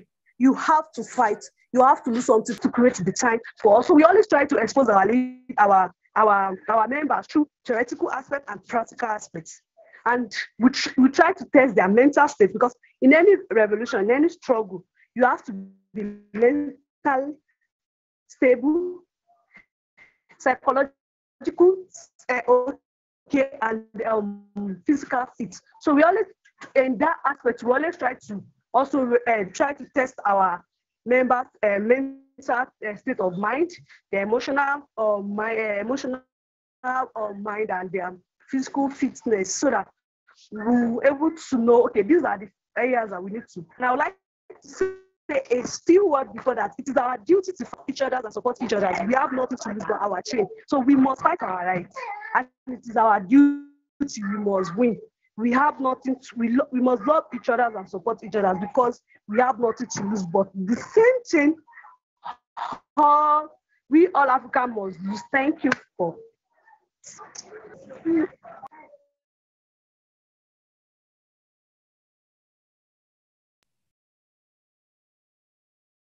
Revolutionary greetings, Sister Zakarriyah. That was so powerful. Um, thank you so much for your response to the question, which was what does organizing to build Pan Africanism look like in your area in 2021? What issues are of primary concern? And what resistance to those issues exists on the ground? And we are so blessed today that we had a response from Mighty Daughters of Africa in Kenya, Burkina Faso, Nigeria, and Eritrea, a microcosm of Pan Africanism, which is the total liberation and unification of Africa under scientific socialism. So, thank you, my sisters. We're going to move on to the second question. Um, we're looking at the time, and we might have time to do a third question, but let's get through the second question. Now, the second question is how do we build a global movement to win Pan Africanism with sisters and youth at the forefront? How do we build a global movement to win Pan Africanism with sisters and youth at the forefront? What transformations need to happen within the worldwide Pan African movement and within revolutionary African organizations to achieve this? This is a very powerful and relevant question. So, sisters, you've been doing a fantastic job. I would ask us to bear in mind that we have translators translating. So just pace yourself. You're all doing great. Thank you so much. So I'm going to call upon uh, Sister Yolian Ogbu to first answer uh, that question. Sister Yolian Ogbu is uh, from the Horn of Africa in Eritrea. She is a leading organizer of the Horn of Africa Pan African for Liberation and Solidarity Organization. My sister. Uh, thank you. So I would say that earlier, um, well, there's a lot of conversation I even talked about kind of some of the recognizing the class struggle and class contradictions and having that analysis. Um, I guess my answer to this would be more internally. One, I think recognizing that we all have to cope with a lot of the disillusionment that we have been unfortunately like indoctrinated of like in order to stabilize ourselves and understand that like there's violence everywhere and the specific violence that happens within even organizations within groups within spaces that want to build pan-africanism that want to build and on these principles of unity um, i think one of the things that i think about a lot when i think about the intercommunal violence is like recognizing that um, you know, obviously things like poverty is violence, transphobia is violence. All of these different pieces continue to exist as um, we attempt to come together as, uh, as groups and um, engage together. And I think one of the biggest things that we need to do is actively combat the violence of, you know, patriarchy, but also gender as a colonial construct itself, recognizing one that they are colonial constructs, that they are not things that are um, that we continue to put ourselves in these boxes in order to um, adhere to Western standards of gender of what of of patriarchal of the patriarchal structures that we are a part of. And I think that they have allowed us to, they have set us back um, so much and, and, and, allowed for so much intercommunal violence to the point where we aren't able to um, actively, you know, come together and, and address the issues of imperialism, capitalism, because these are embedded in part of in part of capitalism, part of imperialism, gender in and of itself. Um, so I think these are some of the things that I, as we move towards uh, recognizing how to um, transform the Pan African movement, but also each and individual organization is saying that we first and foremost must recognize the intercommunal the violence that unfortunately is uh, as a seed from uh, colonialism and uh, so on and so forth. So that's kind of what I wanted to bring up as like a main point. Thank you very much, uh, Sister Yolian, for um, your contribution. And the issue of intercommunal violence is um, very relevant and strategies do need to be consistently revisited to counteract that. And one of the most important strategies is for us to continue to politically educate and organize the masses of our people so they can understand who the true enemy is. It's not the, uh, you know, the Muslim lady beside you or um, uh, the Igbo tribe or anything like that it's the capitalist and imperialist system. So thank you so much for your contribution. Um, we'll now move on to our sister um, Adhiambo Kasuku from the uh, Revolutionary Socialist League in Kenya to answer the question.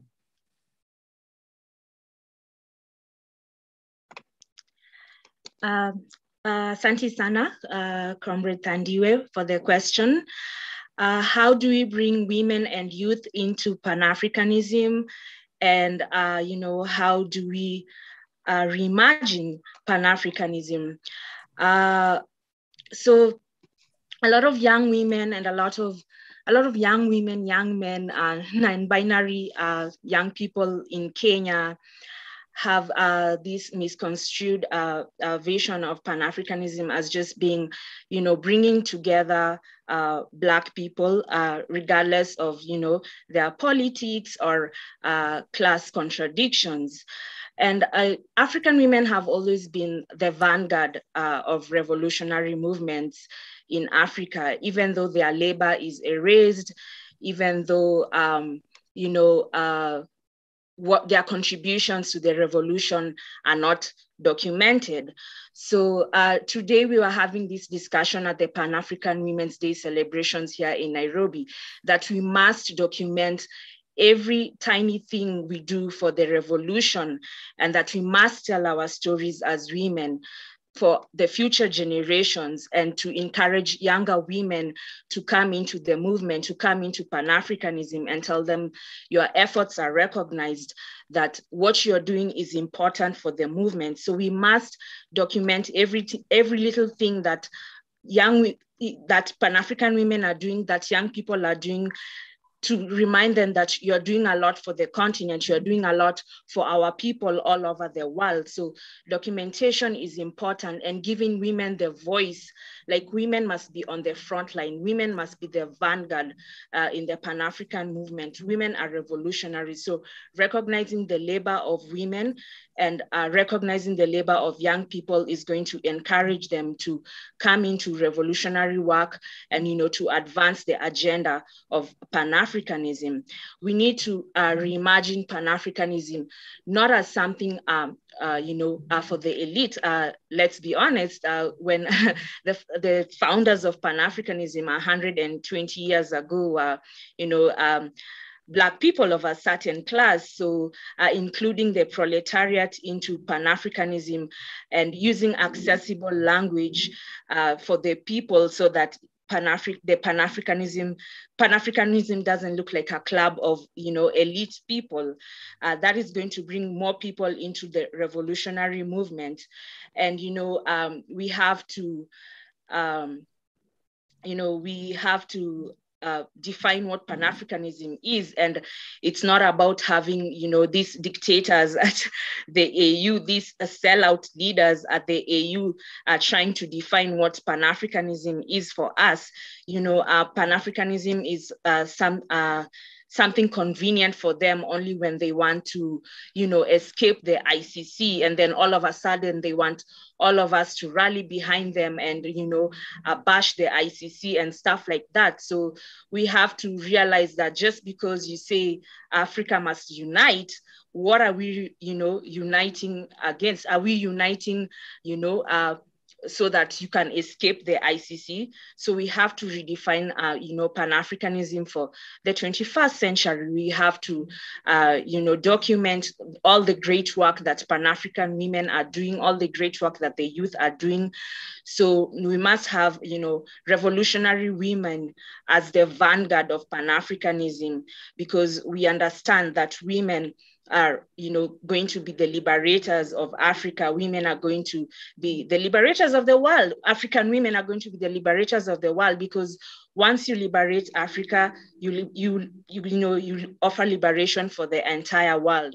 Once we overturn capitalism in africa you know we are going to overturn capitalism in the belly of the beast in america and liberate the entire world. So you know just to wrap it up um, documenting what uh, young Pan-African women are doing is going to bring more women into the struggle and we have to redefine Pan-Africanism. We have to reimagine Pan-Africanism outside, you know, uh, having to save uh, certain people from the ICC or having, you know, uh, to uh, like, so we, yeah, we just have to reimagine Pan-Africanism, include the working people, make the language accessible yeah. Wow, that was powerful, my sister um, Adhiambo. You said so much, so eloquently about the need for us to tell our stories as African women, to document our rich, proud history, to be creative about redefining um, Pan Africanism in the 21st century to uh, suit our conditions and to speak in the language of the masses. This is very, very important. Our people are so creative with our speech and we speak diversely. So we must speak in the language of the people, but keep the message consistent about the need for organization, the need for um, Pan Africanism, which is the unification of our, our continent and so forth. So thank you so much uh, Sister Adhiambo, for that powerful contribution to the question. I'm going to move on, and I'm conscious of the time. Uh, so this might be the last question, which is, um, you know, that's okay. We'll be able to continue with question and answer to make sure that uh, everyone who's listening um, has an opportunity to try and pose a question. So I'm now going to call on our sister, Sister Inemesit Richardson, uh, who's an organizer for the All African People's Revolutionary Party, and she's in uh, Burkina Faso, the, the land of our great son of Africa, Thomas Sankara. Okay, thank you so much. Um, I'll read what I wrote for this question and then a little bit of something I wrote more about the context of Burkina Faso's history. Um, so one thing I think about is how much easier it is for us to celebrate women in the struggle when they are under the leadership of men or taking direction from men than it is for us to take women seriously when they're coming up with the strategy or the theory that guides our struggles. Uh, we need to be able to listen to revolutionary women, Pan-African women, and to take seriously their contributions as thinkers, leaders, strategists, theorists, and members of the revolutionary intelligentsia. We should be reading more revolutionary women. We should be studying their historical contributions. Um, women get erased so quickly from history. And while I think that representation for representation's sake is meaningless, and that representation is dangerous when it's applied to liberal frameworks and institutions, I do think it can become meaningful within revolutionary spaces when it is tied to an effort to hand power over to oppressed people, including working class African women and marginalized genders. For example, it only hurts our ability to develop a larger movement and a greater Pan-African organi- and greater Pan-African organizations if we remember Patrice Lumumba, but we forget Andrée Blouin, if we remember Amilcar Cabral, but we forget Titina Sylla and Carmen Pereira, if we remember Fela Kuti, but we forget his revolutionary mother, Funmilayo and Anikulapo Kuti, I think if they were uplifted even half as much as their male counterparts, we would do a better job at recruiting more African women into the struggle. We are super adamant about political education within the Pan-African movement, and we want everyone to read Kwame Nkrumah and Amilcar Cabral and Walter Rodney, and absolutely I 100% agree. Everyone should read these people. This is really crucial. Um, but we are also at a point where it's very hard to even locate women's voices or contributions in this history and in the theory. Funmilayo Anikulapo Kuti, for example, wrote a number of articles and gave numerous speeches, but I have no idea how to locate these as of now. Andrée Blouin wrote a book and it's not in print. Again, I don't really care about representation just for the sake of representation. Um, so if a woman writes a book and the book doesn't push the movement forward, then we should absolutely put the book down and read Ahmed Sekou instead. I just have a difficult time believing that in the history of the Pan-African movement, very, very, very few women have ever had meaningful contributions. I am certain that there's a wealth of valuable insight that does exist, but is currently just not known about or available. Resurrecting this would have a big impact on not only how women see themselves and understand their potential to contribute to our revolutionary struggle, but it will also have an impact on how men understand the role of women. It would force people of all genders to be willing to take guidance at some points from the women themselves it's not only on women to end patriarchy, it's also on men, so they should feel as concerned as we do. They should also notice and be upset about the gaps in our historical knowledge and pol political education when it appears that women are missing. And then I want to talk about Burkina Faso a little bit as well, because Burkina Faso has such an amazing history uh, with its uh, women's emancipation campaign during the socialist revolution in the 80s. Um, so I wrote about this as well, and I said, um, Representation is only meaningful when it is tied to a liberatory ideology and a revolutionary socialist process. If we look at the example of Burkina Faso, we can see that during the 1983 to 1987 revolution, there was a large shift in the role that women played in various sectors of the government. To give a few examples, under President Thomas Sankara, Bernadette Sanou was appointed the Minister of Culture, Patrice Damiba was appointed Minister of Health, Germaine Pitroipa was appointed High Commissioner of Kouritenga Province, and then later served as a cultural diplomat um, so these are just a, a, few examples of the women who we don't hear about as much. Um, this form of representation really did matter because it was tied to a widespread women's emancipation campaign that was designed to liberate working class African women, and especially women who made up rural farmers and the peasantry, and to work towards the elimination of patriarchy, neocolonialism, and capitalism. It was very different from the type of representation where women are invited to sit at the table to participate in or direct the oppression of other women, workers, or peasants. On the other hand, um, part of me also wants to argue that the women's emancipation campaign in Burkina Faso was not about representation at all. Creating a state ruled by workers and peasants, many of whom are women, is very different from representing women or colonized people within inherently colonial liberal institutions. When the point of the revolution is to bring workers and peasants to power to exercise control over the state, then I feel representation is not the right word and becomes almost a meaningless concept what Burkina Faso was working to do between 1983 and 1987 was to transfer power to women and various other oppressed sectors of the society, not to merely represent them. So that was my response. I'm speechless. I am speechless by the level of revolutionary consciousness of these great daughters of Africa on the panel the commonality of the themes. My sister Inemesit Richardson, you were amazing. Um, you highlighted so many important things, especially about that period between 1983 and 1987, about the transfer of power to sisters. That's similar to what we in the AAWRU are talking about with the social revolution. So you see that Pan Africanism is in motion. And ideologically, our sisters in Eritrea, Burkina Faso, Kenya, Nigeria, and other parts of the, of the continent, we're in line ideologically. It's so exciting. Thank you so much, my sister. So what we're going to do now is um, we're going to ask our sister, uh, Kenny from the Amilcar Cabral Ideological School Movement in Nigeria to answer the question. And then we're going to move on to the question and answer period of Pan African Women's Day. And I just want to repeat that the theme of Pan African Women's Day is African women and youth organizing for Pan Africanism in the 21st century. Sister Zakarriyah Kenny. Yeah, viva Viva!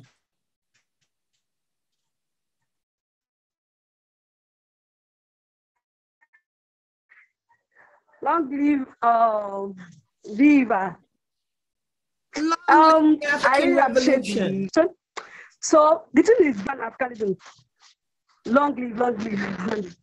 Now we need to place to organize a global movement with, to win Pan Africanism with our sisters and youth. We need to place more emphasis on training of our cadres.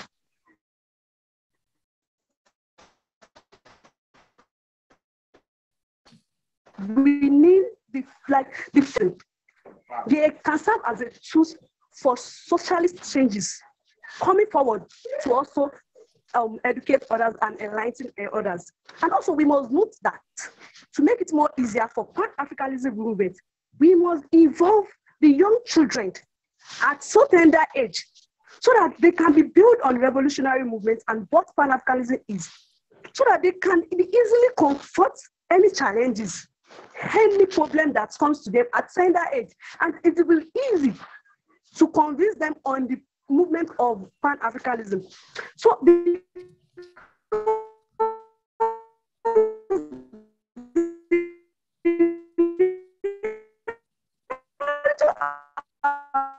Africa are the same lack of productive job, women now, they are only a tool for sexual satisfaction.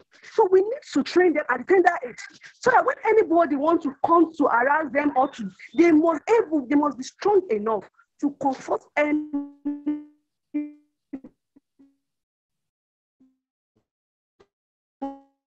problem.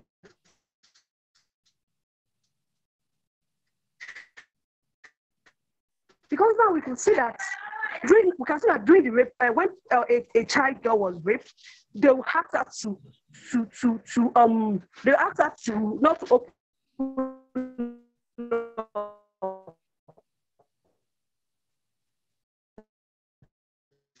because of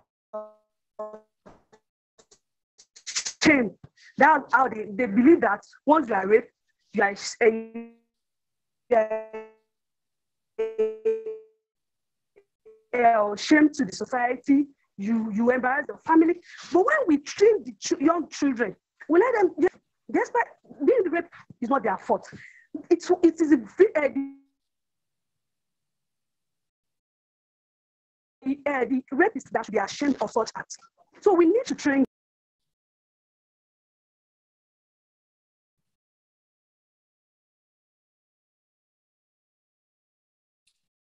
Uh, warmest revolutionary greetings, brothers and sisters, and um, our mighty daughters on the panel. Uh, we're having some technical issues, uh, and unfortunately, uh, oh, I'm back. Oh, she's back. Okay. I'm back. I'm sorry for these network issues, so I'm very sorry. So now we can now see that it is the same problem women are facing in everywhere in the part of the world. Now it is now our duty to come forward to united. We are talking of unity. We are not talking of uh, because unity, we are not talking of uh, we are talking of coming against any girl, any any any challenge against any women in the world. In the world, anywhere, whether you're black, whether we must come together because we all have common purpose because they, they make it clear that they've already made it clear that we are nothing but the tools for social uh, for uh, sexual satisfaction that we belong to the kitchen. So we must make we have to fight because when we remember the history of our past hero, Dandara, Winnie Mandela, Funmilayo Azokuti, Ivana Osman, those people, they serve as an example for us to come forward, to fight for our rights, and to let them know that we are more stronger. The power of a woman is more better than thousands of a women of a men in the world. So we must let them know. And through this we can, and we must know that we must embrace Pan-African and socialist society. We must build our young, we, young ones and women in Pan-African society, which encourage equal rights and equal, equal rights and equality in the society. Thank you. Uh, many thanks, uh, Sister uh, Zakarriyah Kenny, for your contribution. You touched on so many important points with respect to our young children, teaching them at an early age and um, educating them about Pan Africanism and other important points. So we thank you so much for your contribution. And daughters and sons of Africa who are listening to the program, whether you're panelists or you're in the audience, all of this is part of the political education process. For all of us to raise our collective consciousness, we need to study our history. We need to study our culture. We need to join an organization that is fighting for the people. We need to have more Pan African Women's Day commemorations so we raise our collective consciousness and commitment to the objective of Pan Africanism. So, thank you so much to our panelists. We're moving on to the question and answer period now. So, we're going to ask our panelists to remain where they are. Um, we do have a special treat uh, before we formally open up the Q&A. We're going to call on mighty daughter, great revolutionary leader, auntie, um, comrade of Amilcar Cabral, Mama, Teodora Gomes, who is a living legend in the Pan African world, to uh, speak for a few minutes about um, her contribution. I had the privilege of meeting mighty daughter of Africa, uh, Mama Teodora Gomes, in 2000 when I attended the 20th anniversary commemoration of the All African Women's Revolutionary Union in Guinea Bissau. On behalf of the AAWRU, I was representing the organization with Mama Mowina Kuyate, who is now one of our great ancestors, Nehanda Green, and there were members of the Pan Africanist Congress of Azania and the African Party for the Independence of Guinea and Cape Verde hosted the meeting, but more importantly, their women's ring, UDEMU, the Democratic Union of Guinean Women. So Mama Teodora Gomes, to put in a nutshell, fought alongside Amilcar Cabral um, one of the greatest sons of Africa, during the anti-colonial Portuguese struggle. And she is a legend in Guinea-Bissau. She helped to co-found UDIMU, the women's wing in the PAIGC, and she's still fighting the fight for Pan-Africanism. So we're going to invite Mama Teodora Gomes to spread a message for about five minutes of revolutionary support and solidarity for Pan African Women's Day. Mama Teodora Gomes.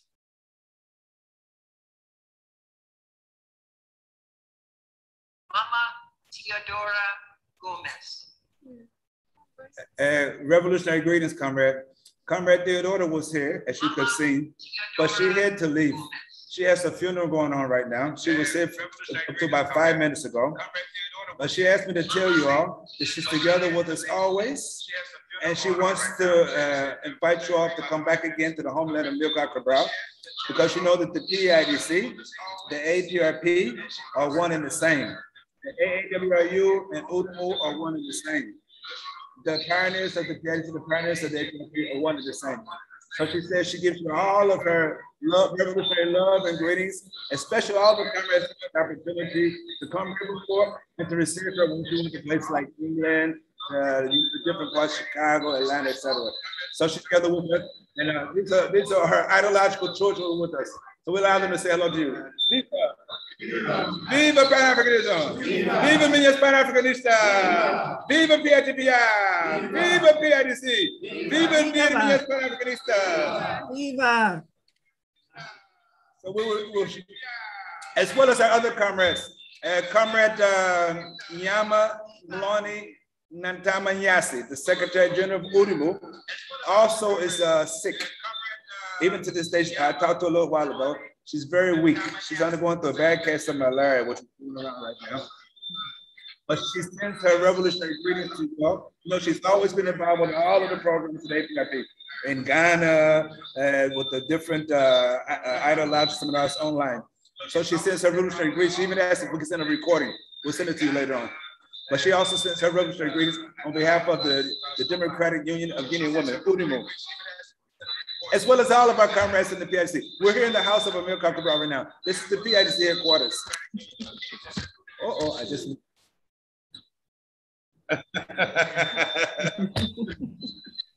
oh, thank you so much. We're together. And we'll see y'all next year. We'll see between between next year, but next year we'll be together when you come to Guinea-Bissau for your Congress and for the uh, the Pan-Africanist ideological seminar and the meeting with the Revolutionary Parties of Africa to tighten up our revolutionary ideological political coordination at the level what a Kwame Nkrumah called the All African People's Committee for Political Coordination. So come on back to homeland of America. Then anyway, it's been too long since you were here. Saturday, Theodore is calling for you. Sorry, all you comrades, come on.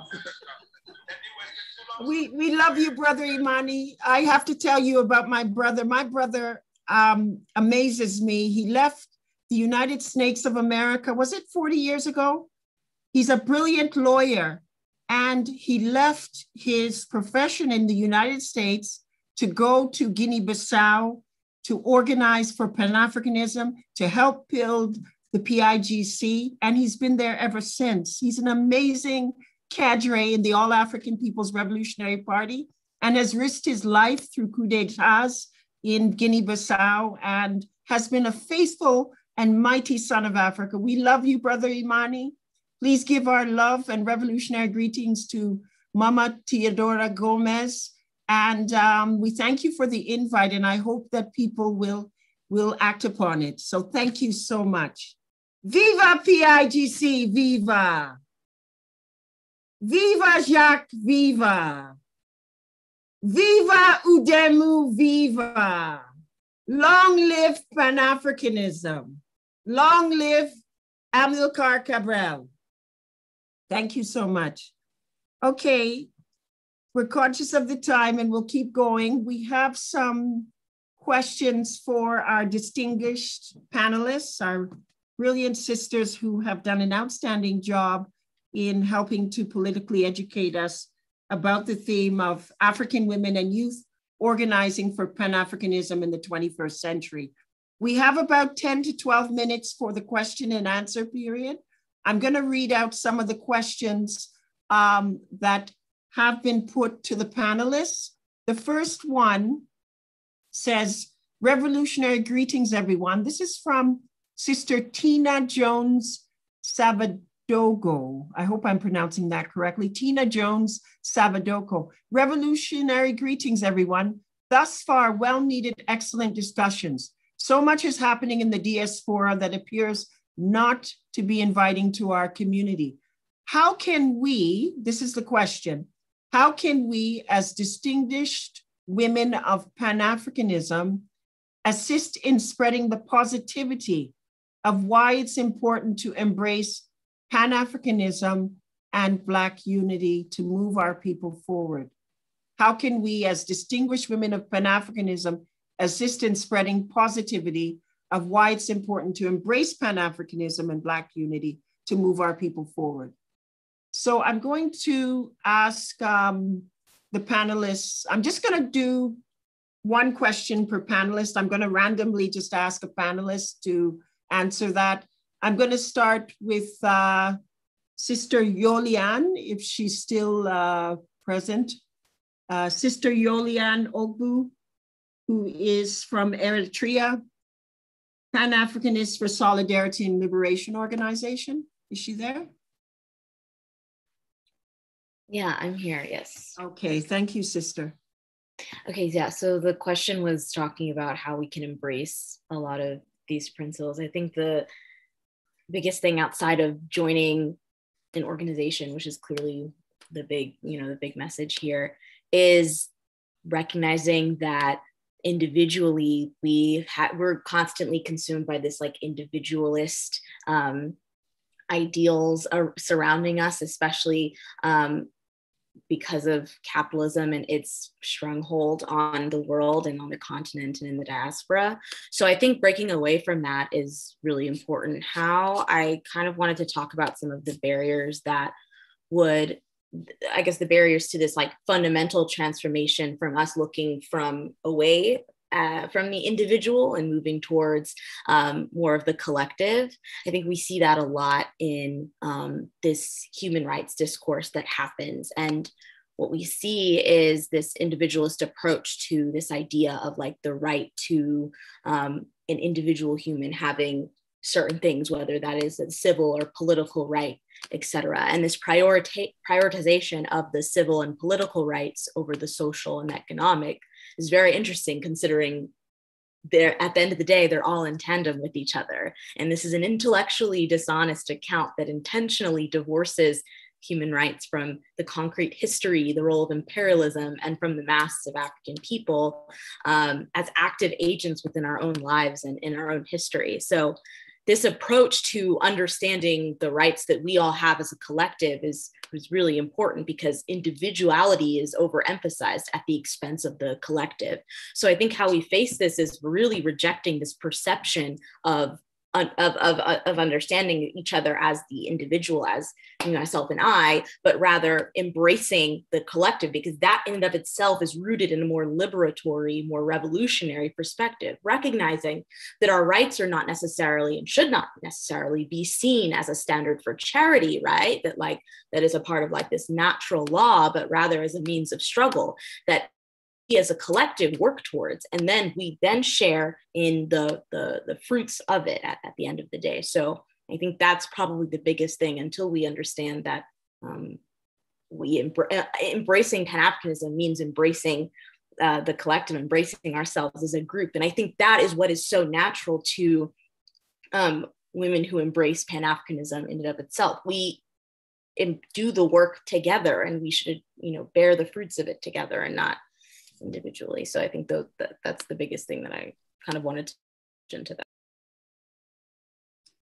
Uh, thank you so much, uh, Sister Yolian, for bringing out in a nutshell what the essence of Pan Africanism. It is um, an objective that benefits the collective of the masses of our people. It's about collective sharing of our resources, sharing our ideas, sharing our struggles, um, which is the natural order of the universe, that the universe itself is a collective entity.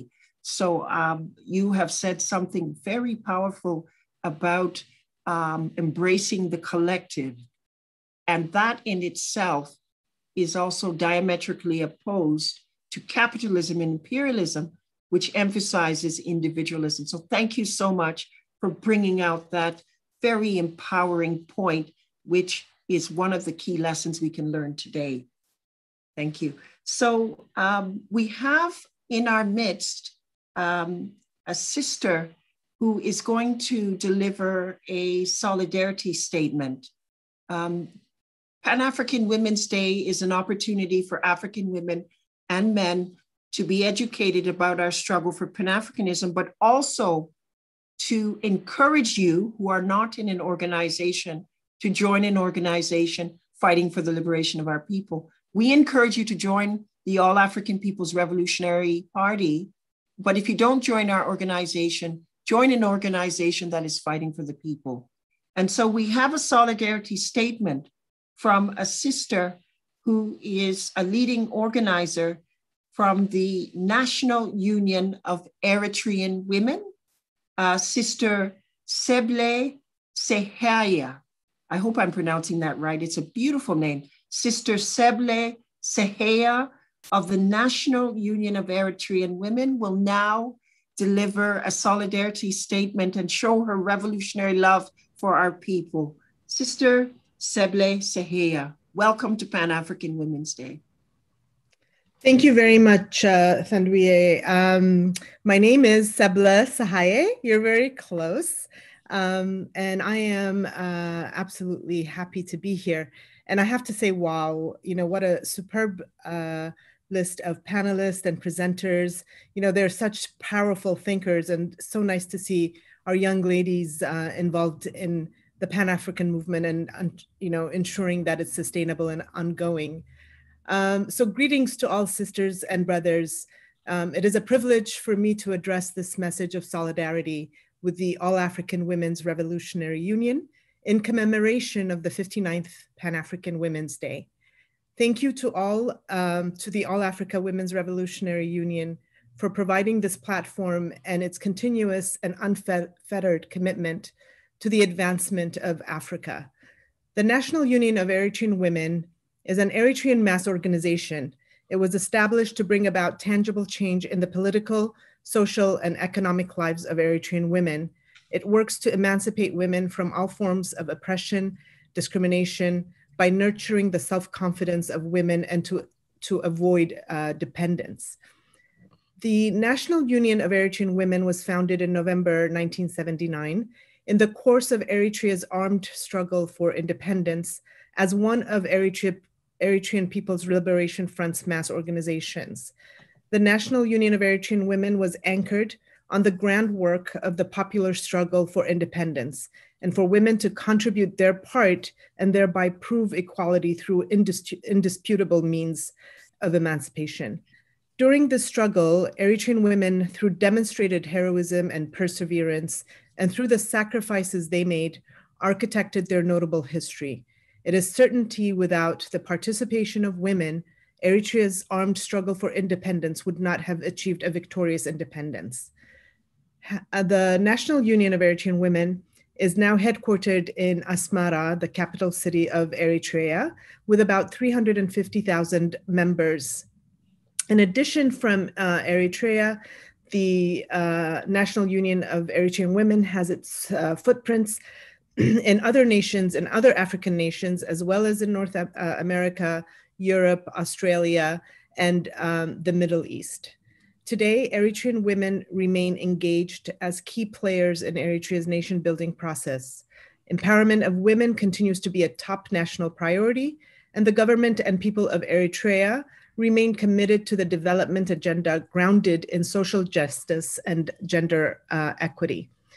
Our mission is to guarantee the rights of women in political, economic, social, and cultural sectors, and to ensure the strong participation and contribution of women in the building of a society where women and men, girls and boys of diverse backgrounds share equal duties and enjoy equal rights and opportunities in all aspects of life.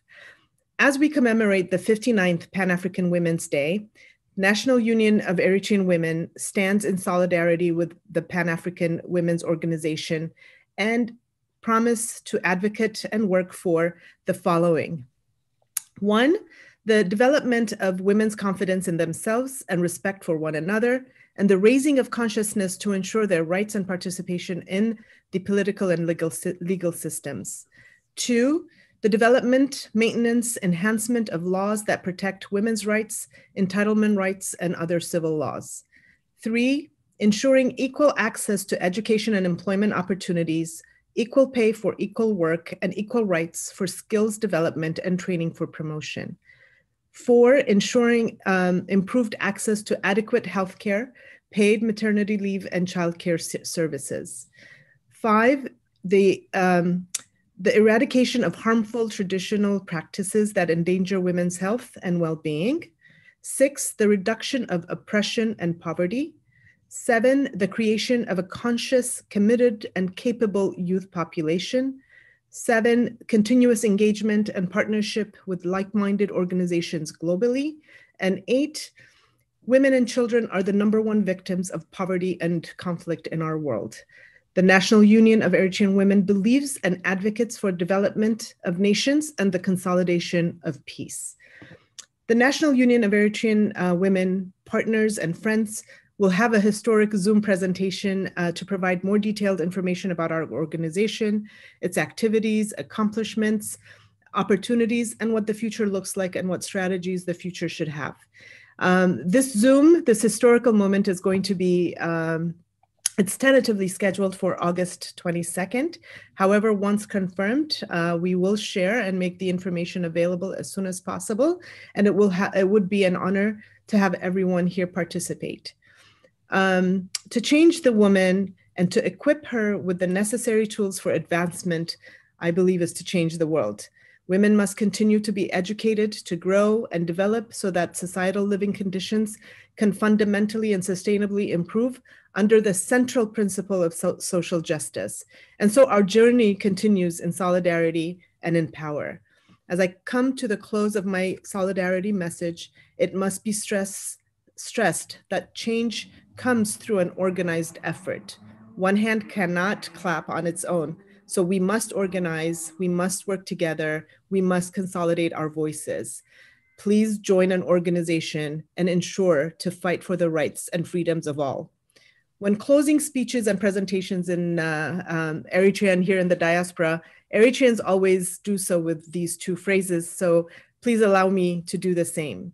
The first one in Tigrinya is Zichrin Kibrin Nisuwa'atna, which means eternal glory to our martyrs.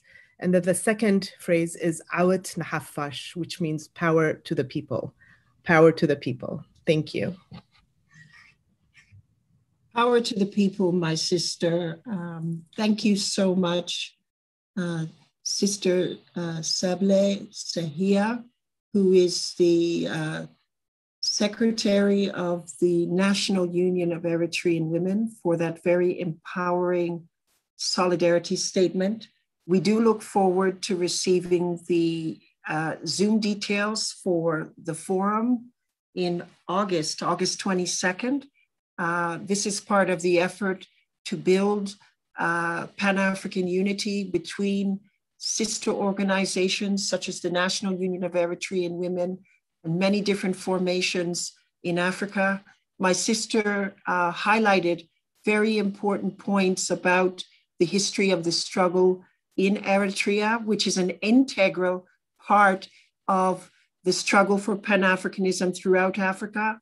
One of the panelists had previously talked about these artificial colonial borders that were imposed by the imperialists, particularly in 1884 during the Berlin Conference, when our motherland was literally carved up like an apple pie by the imperialists. So these borders in Africa are, are artificial.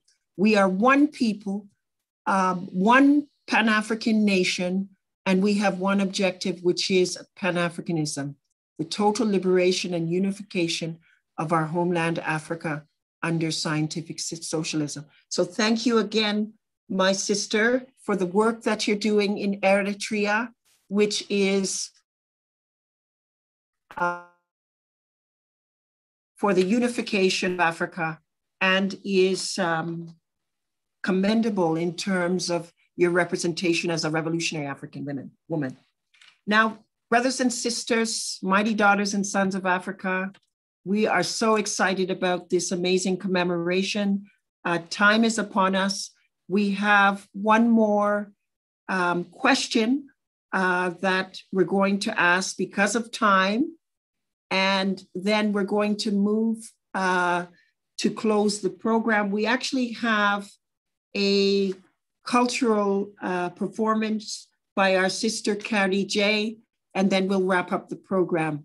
So the question that um, Sister Beitel uh, Tesfa Mariam is asking the panelists, in your role within the organization that you're a part of, what specifically brings you hope about the current state of Pan Africanism and its future? Secondly, what do existing efforts to recruit more women within these movements and organizations look like? Wow, two uh, interconnected questions. So, in your role within the organization you're a part of, what specifically brings you hope about the current state of Pan Africanism and, and the future? And what do you do to recruit more women into your organizations? I am going to allow um, Sister um,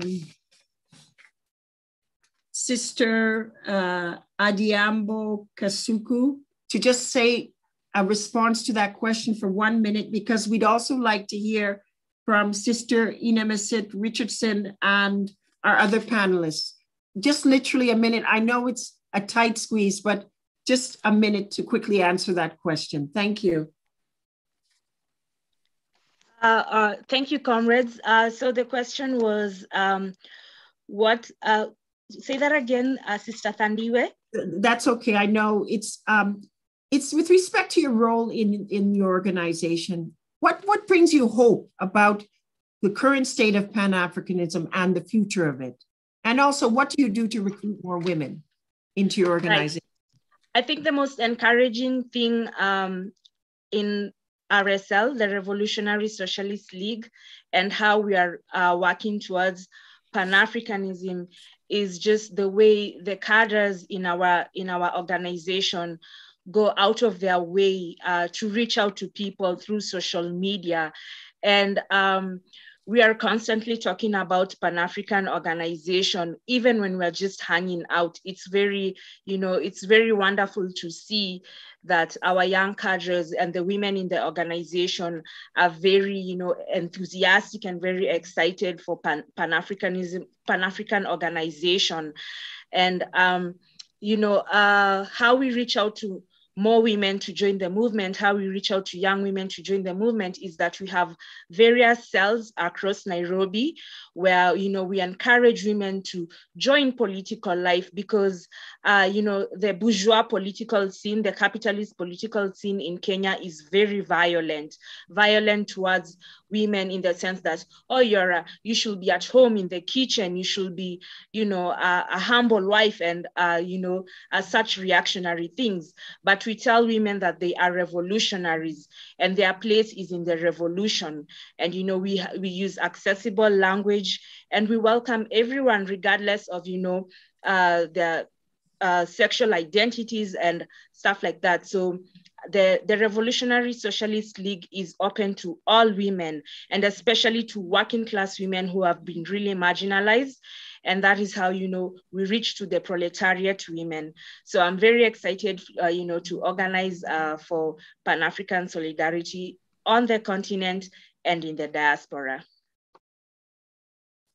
Many thanks sister adhiambo that sounds very positive. So um, our listeners our, our people from around the world our panelists know that there are various organizations that they can join and that the future of pan-africanism is is powerful and we all need to play a role in building that future. So thank you so much for that.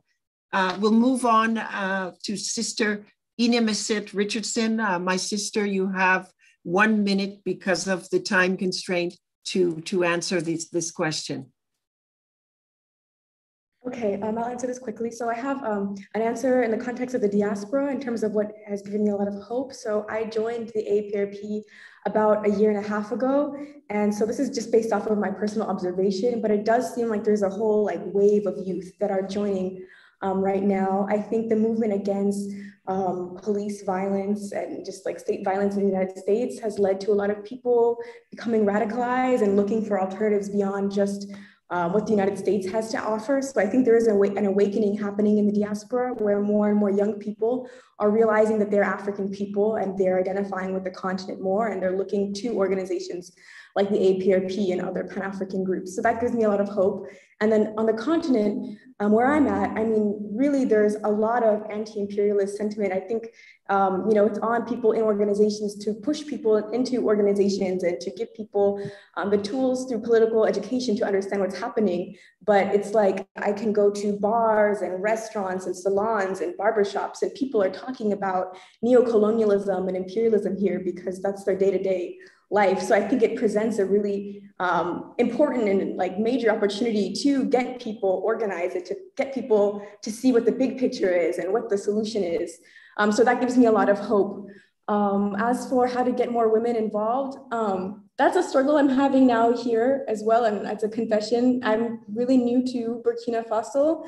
So um, like it's a major goal to start building more and more with the women here and to have more um, women comrades and contacts because it is true that a lot of the political events I've attended here so far have been um, like, like men have been disproportionately represented um, at them. So this is something that is kind of, uh, I'm, I'm trying to figure out myself, but I do think that drawing on the history of this country and the history of the Women's Emancipation Campaign might be one way to solve that problem. Asante Sana, my sister Inemesit Richardson, who is an organizer for the All African People's Revolutionary Party in Burkina Faso, for uh, responding to that question. I just want to uh, remind uh, mighty daughters and sons of Africa who are listening and viewing this program, that this program is being organized by the All African People's Revolutionary Party, but specifically by our women's wing, the All African Women's Revolutionary Union, that was in November, November 27th, 1980. So uh, our women's union has been around for just over 40 years. The All African People's Revolutionary Party encourages you, if you're not in an organization, to join an organization to fight uh, for the liberation of our people. We can no longer uh, sit on the sidelines and cry about uh, the challenges that we face as a people if that's what we're doing. That is unacceptable. We must get involved in the struggle. We must become politically educated. We must be organized. We must link with other progressive and revolutionary movements and organizations in Africa and in the diaspora to expedite, to speed up the goal or the objective of Pan Africanism. Our people are suffering. And so we must be conscious and responsible African women and young people and join an organization. We encourage you to join the All African People's Revolutionary Party. We have chapters in uh, Africa, uh, in, in different parts of Africa, Guinea Bissau, uh, Burkina Faso, Tanzania, other parts of Africa. We have chapters in the United States. We have a chapter here in Canada where I live. We have a chapter in England. You can go to our website, www.aaprp-intl, I like um, independence, N like Nigeria, T like Tanzania, L like liberation, uh, .org to find out information about the Pan-African Women's Day history and the AAPRP. There's no more excuses, brothers and sisters. You're either for the people by joining an organization, as our great ancestor Kwame Ture says, or by your inaction, you're against the people. We are in a fight for the liberation and lives of our people. So uh, we encourage you to join an organization today. Um, thank you so much to all of our panelists. We're wrapping up uh, the panel presentations and question and answer period of this historic or her historic Pan-African Women's Day. We want to thank on behalf of the All African Women's Revolutionary Union, our beloved sister Adhiambo Kasuku from the Revolutionary Socialist League in Kenya. Thank you, my sister. Continue the struggle for liberation. Our sister Inemesit Richardson, who is um, an organizer for the All African People's Revolutionary Party in Burkina Faso. We thank you so much for your revolutionary work that you're doing in organization. We thank our sister Zakarriyah Kenny from the Amilcar Cabral Ideological School Movement in Nigeria for the outstanding work you're doing there. Please keep it up. We need all of our people to be an organization. And our beloved sister Yolian Ogbu from the Horn of Africa, making beautiful music through revolution in the Horn of Africa, um, an organizer with the Pan Africanists for Solidarity and Liberation in Eritrea. Keep up the work. We're with you in spirit, revolutionary spirit, my sisters. So thank you so much. We thank the uh, brothers and sisters who submitted questions and answers. And we're now going to move on to um, a cultural presentation from Sister Carrie J, um, a revolutionary sister and cultural artist who is going to um, delight us with her edutainment.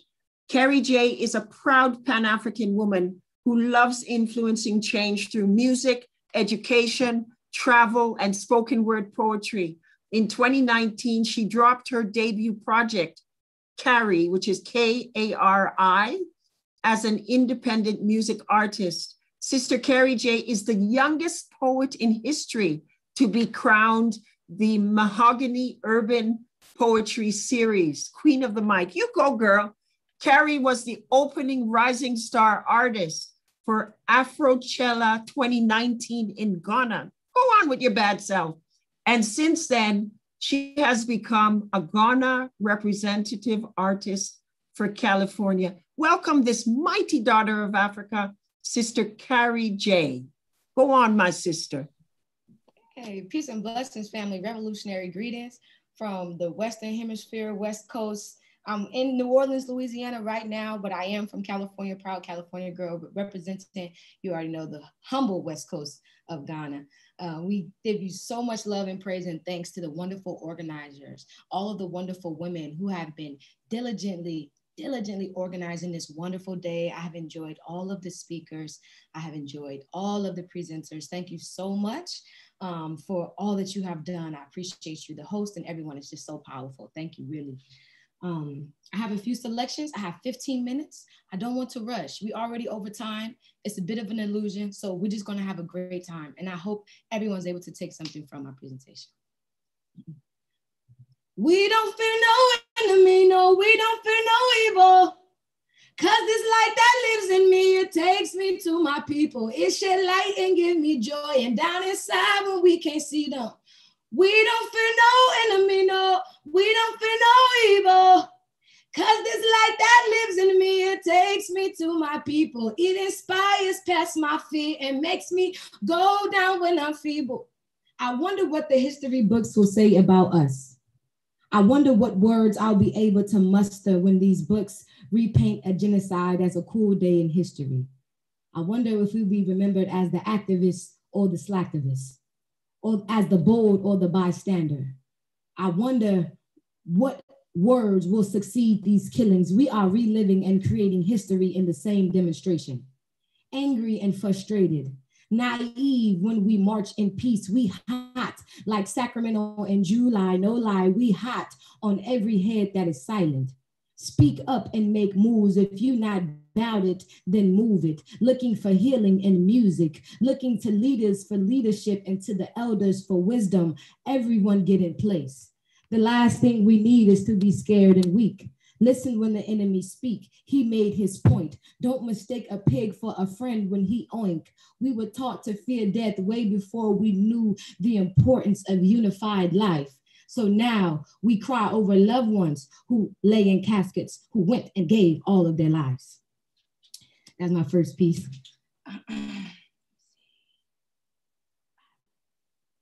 Now this song is called Do Your Thing. You have to do your thing. Look, it's a lesson that we learn. No matter where you go, where you stay, it's that respect you earn. Hey, hey, just these life lessons that we learn. No matter what you throw, a seed will grow and you'll get that in return. And if you don't feel what you don't know, ask questions, take control, money, you won't saturate your soul. Hey, hey, don't feel what you don't know. Ask questions, take control, money can pay for your soul. Everybody say, do your thing, baby girl, make you no watch nobody, nobody. Do your thing, baby girl, make you no watch nobody, nobody. Do your thing, baby girl, you ain't gotta watch nobody, nobody. Do your thing, baby girl, you ain't gotta watch nobody. Nobody. Yo, let me tell you a little story about a girl who loves everybody and would give the whole world if she could. Prophetic speech, so she spoke to the hood every day, begging for more life when she prayed. Sacktown 30, so she move a little different. Motherland magic motivated for the mission. And she dope, ain't no real competition. When you know that you chosen, broke, but never broken. You the cup that it's over, floodgate open. You know this? Hey, and you know this, uh, all my baby girls say, yeah, it's a lesson that we learn. No matter where you go, where you stay, it's that respect you will earn. Hey, just these life lessons that we learn. No matter what you throw, a seed will grow and you'll get that in return. Yeah. Listen, everybody say, do your thing, baby girl, make you no watch nobody, nobody. Do your thing, baby girl, make you no watch nobody, nobody. Do your thing, baby girl, you ain't gotta watch nobody, nobody. Do your thing, baby girl, you ain't gotta watch nobody, nobody. Say, keep going, oh, you feel the rhythm. It's you know you feel the rhythm. Keep going, oh, you feel the rhythm. It's yours, you know you feel the rhythm. Keep going, oh, you feel the rhythm. It's yours, you know you feel the rhythm. Keep going, oh, you feel the rhythm. It's yours, you know you Listen, feel the rhythm. everything that I am, I am my first. I belong to myself, so myself won't hurt. I'm in love on myself, and that love take work. In my eyes, I see dreams, we come first, yeah. High vibe, frequency, like Mother Earth. Don't tell them you sign before you show them your worth. Fly high in the sky, baby, free like a bird. Fly high in the sky, baby, free like a bird. Do your thing, baby girl, make you know what's nobody, nobody. Pan African Women's Day, how y'all feeling? Hey, hey, hey, say, Do your thing, baby girl, make you gotta watch nobody, nobody. Do your thing, baby girl, you ain't gotta watch nobody, nobody. Hey. I hope you guys like that one. I got some more.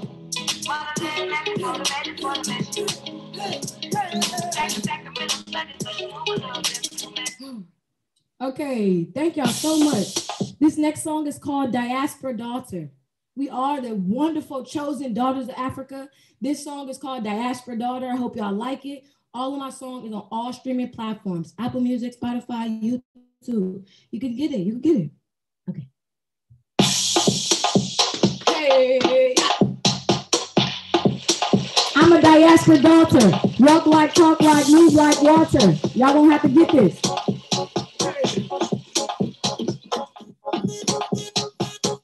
I'm a diaspora daughter. Walk like, talk like, move like water. Chase stars right back to my mother. One land, one love, and I'm after. Ay, I'm a diaspora daughter. Walk like, talk like, move like water. Chase stars right back to my mother. One land, one love, and I'm Ay, I'm a diaspora daughter. Born from my mother, grind like my father. Come in from Cali, pass straight to Ghana. Chillin' in Naja. Call me Cubanas, bailando, chica con mi hermanas. Different locations with the same problems. We are the people. Will go farther when we together. Then we go harder. Ay, I'm a diaspora daughter. Talk like, move like water. Chase stars right back to my mother. One land, one love, one after. Ay, I'm a diaspora daughter. Walk like, talk like, move like water. Chase stars right back to my mother. One land, one love, one after. Ay, over there. Put your hands up. You're surrounded over there. Over here. Diaspora. You can find us over there. Over there. Put your hands up. You're surrounded over there. Over here. Diaspora. You can find us over there. I'm a diaspora. Walk like, talk like, move like right back to my mother. One land, one love, and I'm after. Ay, I'm a diaspora daughter. Walk like, talk like, move like water. One land, one love, and I'm after. One land, one love, and I'm after. Ay. That was diaspora daughter, y'all. That's my third selection. Getting moving right along. Woo! Oh my gosh. Here we go. What makes a man about it? What makes a man about it is that they have black people and white poor people and red poor people and Puerto Rican poor people, and Latin American Puerto Rican people of uh, all poor people of all descent. They have the honorable chairman that we rest in peace. we don't care what anybody says. We don't think Yeah, yeah, yeah, yeah, yeah. Uh, uh, we ain't got a war with each other, go to war for each other. Pull up in each city and protecting one another. They know we gon' fight and unite for sure. Look, we ain't got a war with each other, go to war for each other. Pull up on your city and protecting one another. They know we gon' fight and unite for sure. Listen, who can knock us down right here? Walk with your talk, one accord right here. Just kids from the block, so we know no fear. Knew what we taught, so we know no fear. No, watching our legends die in front of us. They normalizing the violence, trying to silence us. Live life lit to that third eye open up, and then we peeping energy in the spirit world. Who's the sinner in the room when we are the gospel? Fake friends make friends when they not popping. They low energy, we are revival. We know Judas, they they know disciple. To me like the cops do, be the op to. I fall, but I never hit the ground when we stumble. When we at odds, then the play is a fumble. Struggle too long, so I hold humble. No, say pull up on your city and protecting one another. They know we gon' fight and unite for sure. We ain't got a war with each other, go to war for each other. Pull up on your city and protecting one another. They know uh, we gon' fight and unite for sure. We know how it feels to be targeted and black marketed. We come into the room startling, but heart opposite. Circles stay small so they can't politic, and my people still starve, so we can't fumble it. We the hottest trending topics and we still broke. All we need is one another, yet we still funk. Ain't no trust in our steps, we seen devils before. They conquered our land, but can't conquer our soul. Our enemy is strapped with military attacks. Pigs kill kids, and we ain't firing back. War is a state that we ain't ready for. Cause we all run when the enemy trying to go. Women and reason won't be silent. War ain't a riot, it's a mindset. We ain't rising no higher, divided, y'all. Say we ain't got a war with each other, go to war for each other. Pull up on your city and protecting one another. They know uh, we gon' fight and unite for sure. We ain't got a war with each other, go to war for each other. Pull up on your city and protecting all your brothers. They know uh, we gon' fight unite the show. Thank y'all so much, Pan African Women's Day. I'm a proud, I forgot to mention this, but I'm a proud pre-Tiger member of the All African People Revolutionary Party. So I just thank everybody for being on this call, everybody for making time to honor and appreciate the legacy of revolutionary women who got us to where we're supposed to be today. I'm standing on great shoulders, great back strong that God to where we're supposed to be, and not taking that for granted or not lightly. And we are in such great fellowship with amazing women of all ages, all backgrounds, countries, boundaries can't hold us back. I thank y'all, and I love every single one of the African people on this call. Thank you.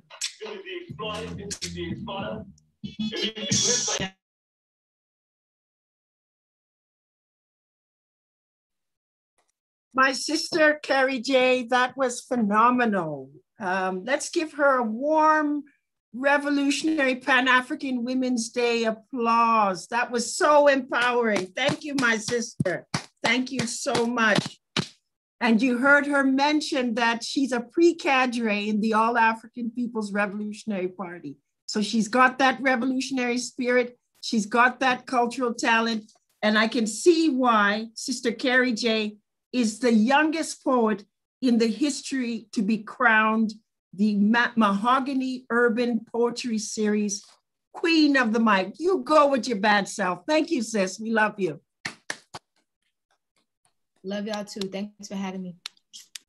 Yes. So, uh, Mighty Daughters and Sons of Africa, we're moving towards the conclusion of this historic Pan African Women's Day commemoration. The theme of the program is African women and youth organizing for Pan Africanism in the 21st century. Pan Africanism is an objective. Pan Africanism is defined as the total liberation and unification of our beautiful homeland, Africa, under scientific socialism. That's what we're organizing for. Whether our people are conscious of it or not, our people are organizing for Pan Africanism in the 21st century, and we will achieve it. The question then becomes what are you doing to help us in the struggle for Pan Africanism? Are you in an organization? Are you being politically educated? If you're not in an organization that is fighting for the liberation of our people, join the All African People's Revolutionary Party. We have chapters in Canada, the United States, Africa, England, and we're constantly building. If you don't join our party, join another organization that is fighting for the liberation of our people. I have a message from one of our great um, sister warriors, Sister Comrade Eunice Iipinge. Now, she's in Uganda, in East Africa. And she sends revolutionary greetings from the Pan African Women's Organization, which is the founding organization for Pan African Women's Day, and the SWAPO Women's Council. She couldn't be with us today physically, but she's here in spirit.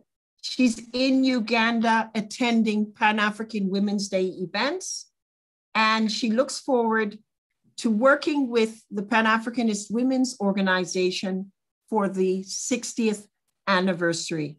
So that's our sister comrade, mighty daughter of Africa, Eunice Iipinge, sending revolutionary greetings to all of us. Let's give her a round of applause. Thank you, my sister.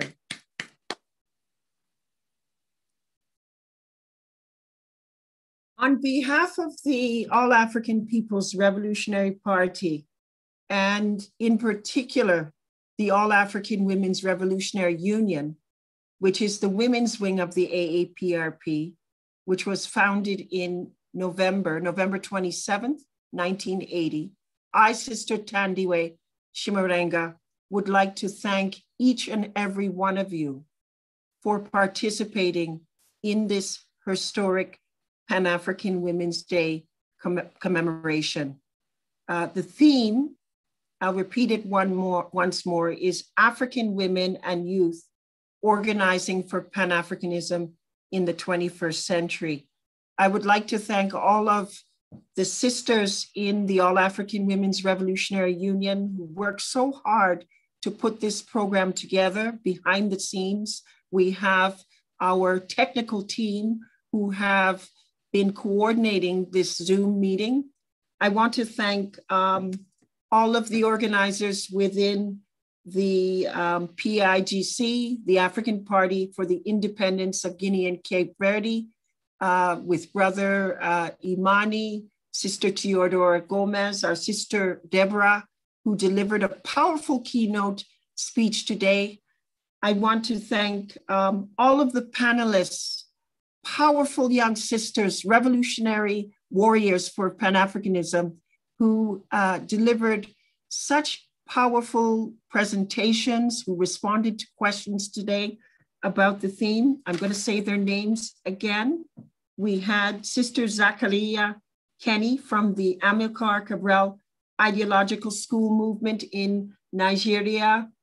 We had um, Sister uh, Yolian Ogbu, um, who is organizing in Eritrea as one of our, our panelists. Um, and we have uh, Sister Adhiambo Kasuku from the Revolutionary Socialist League in Kenya. And we have Sister Inemesit Richardson, who is a member of the All African People's Revolutionary Party, um, organizing in Burkina Faso.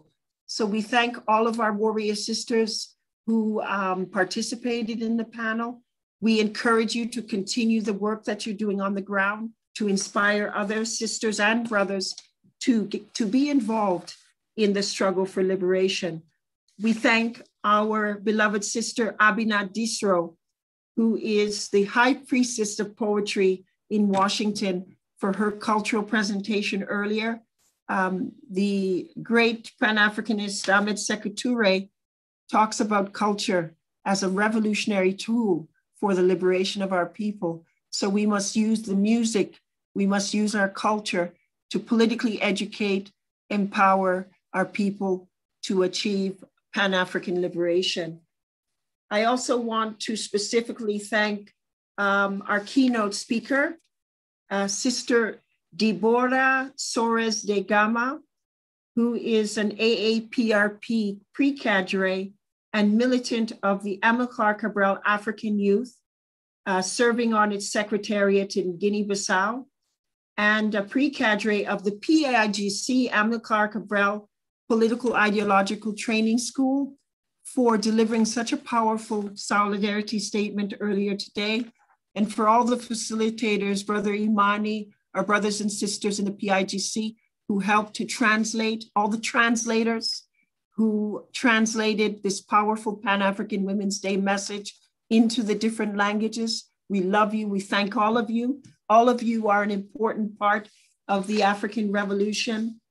Um, I want to once again say that it is very important, and you're going to hear Sister Thandiwe saying this all the time. Join an organization that is working for the liberation of our people. There are many organizations.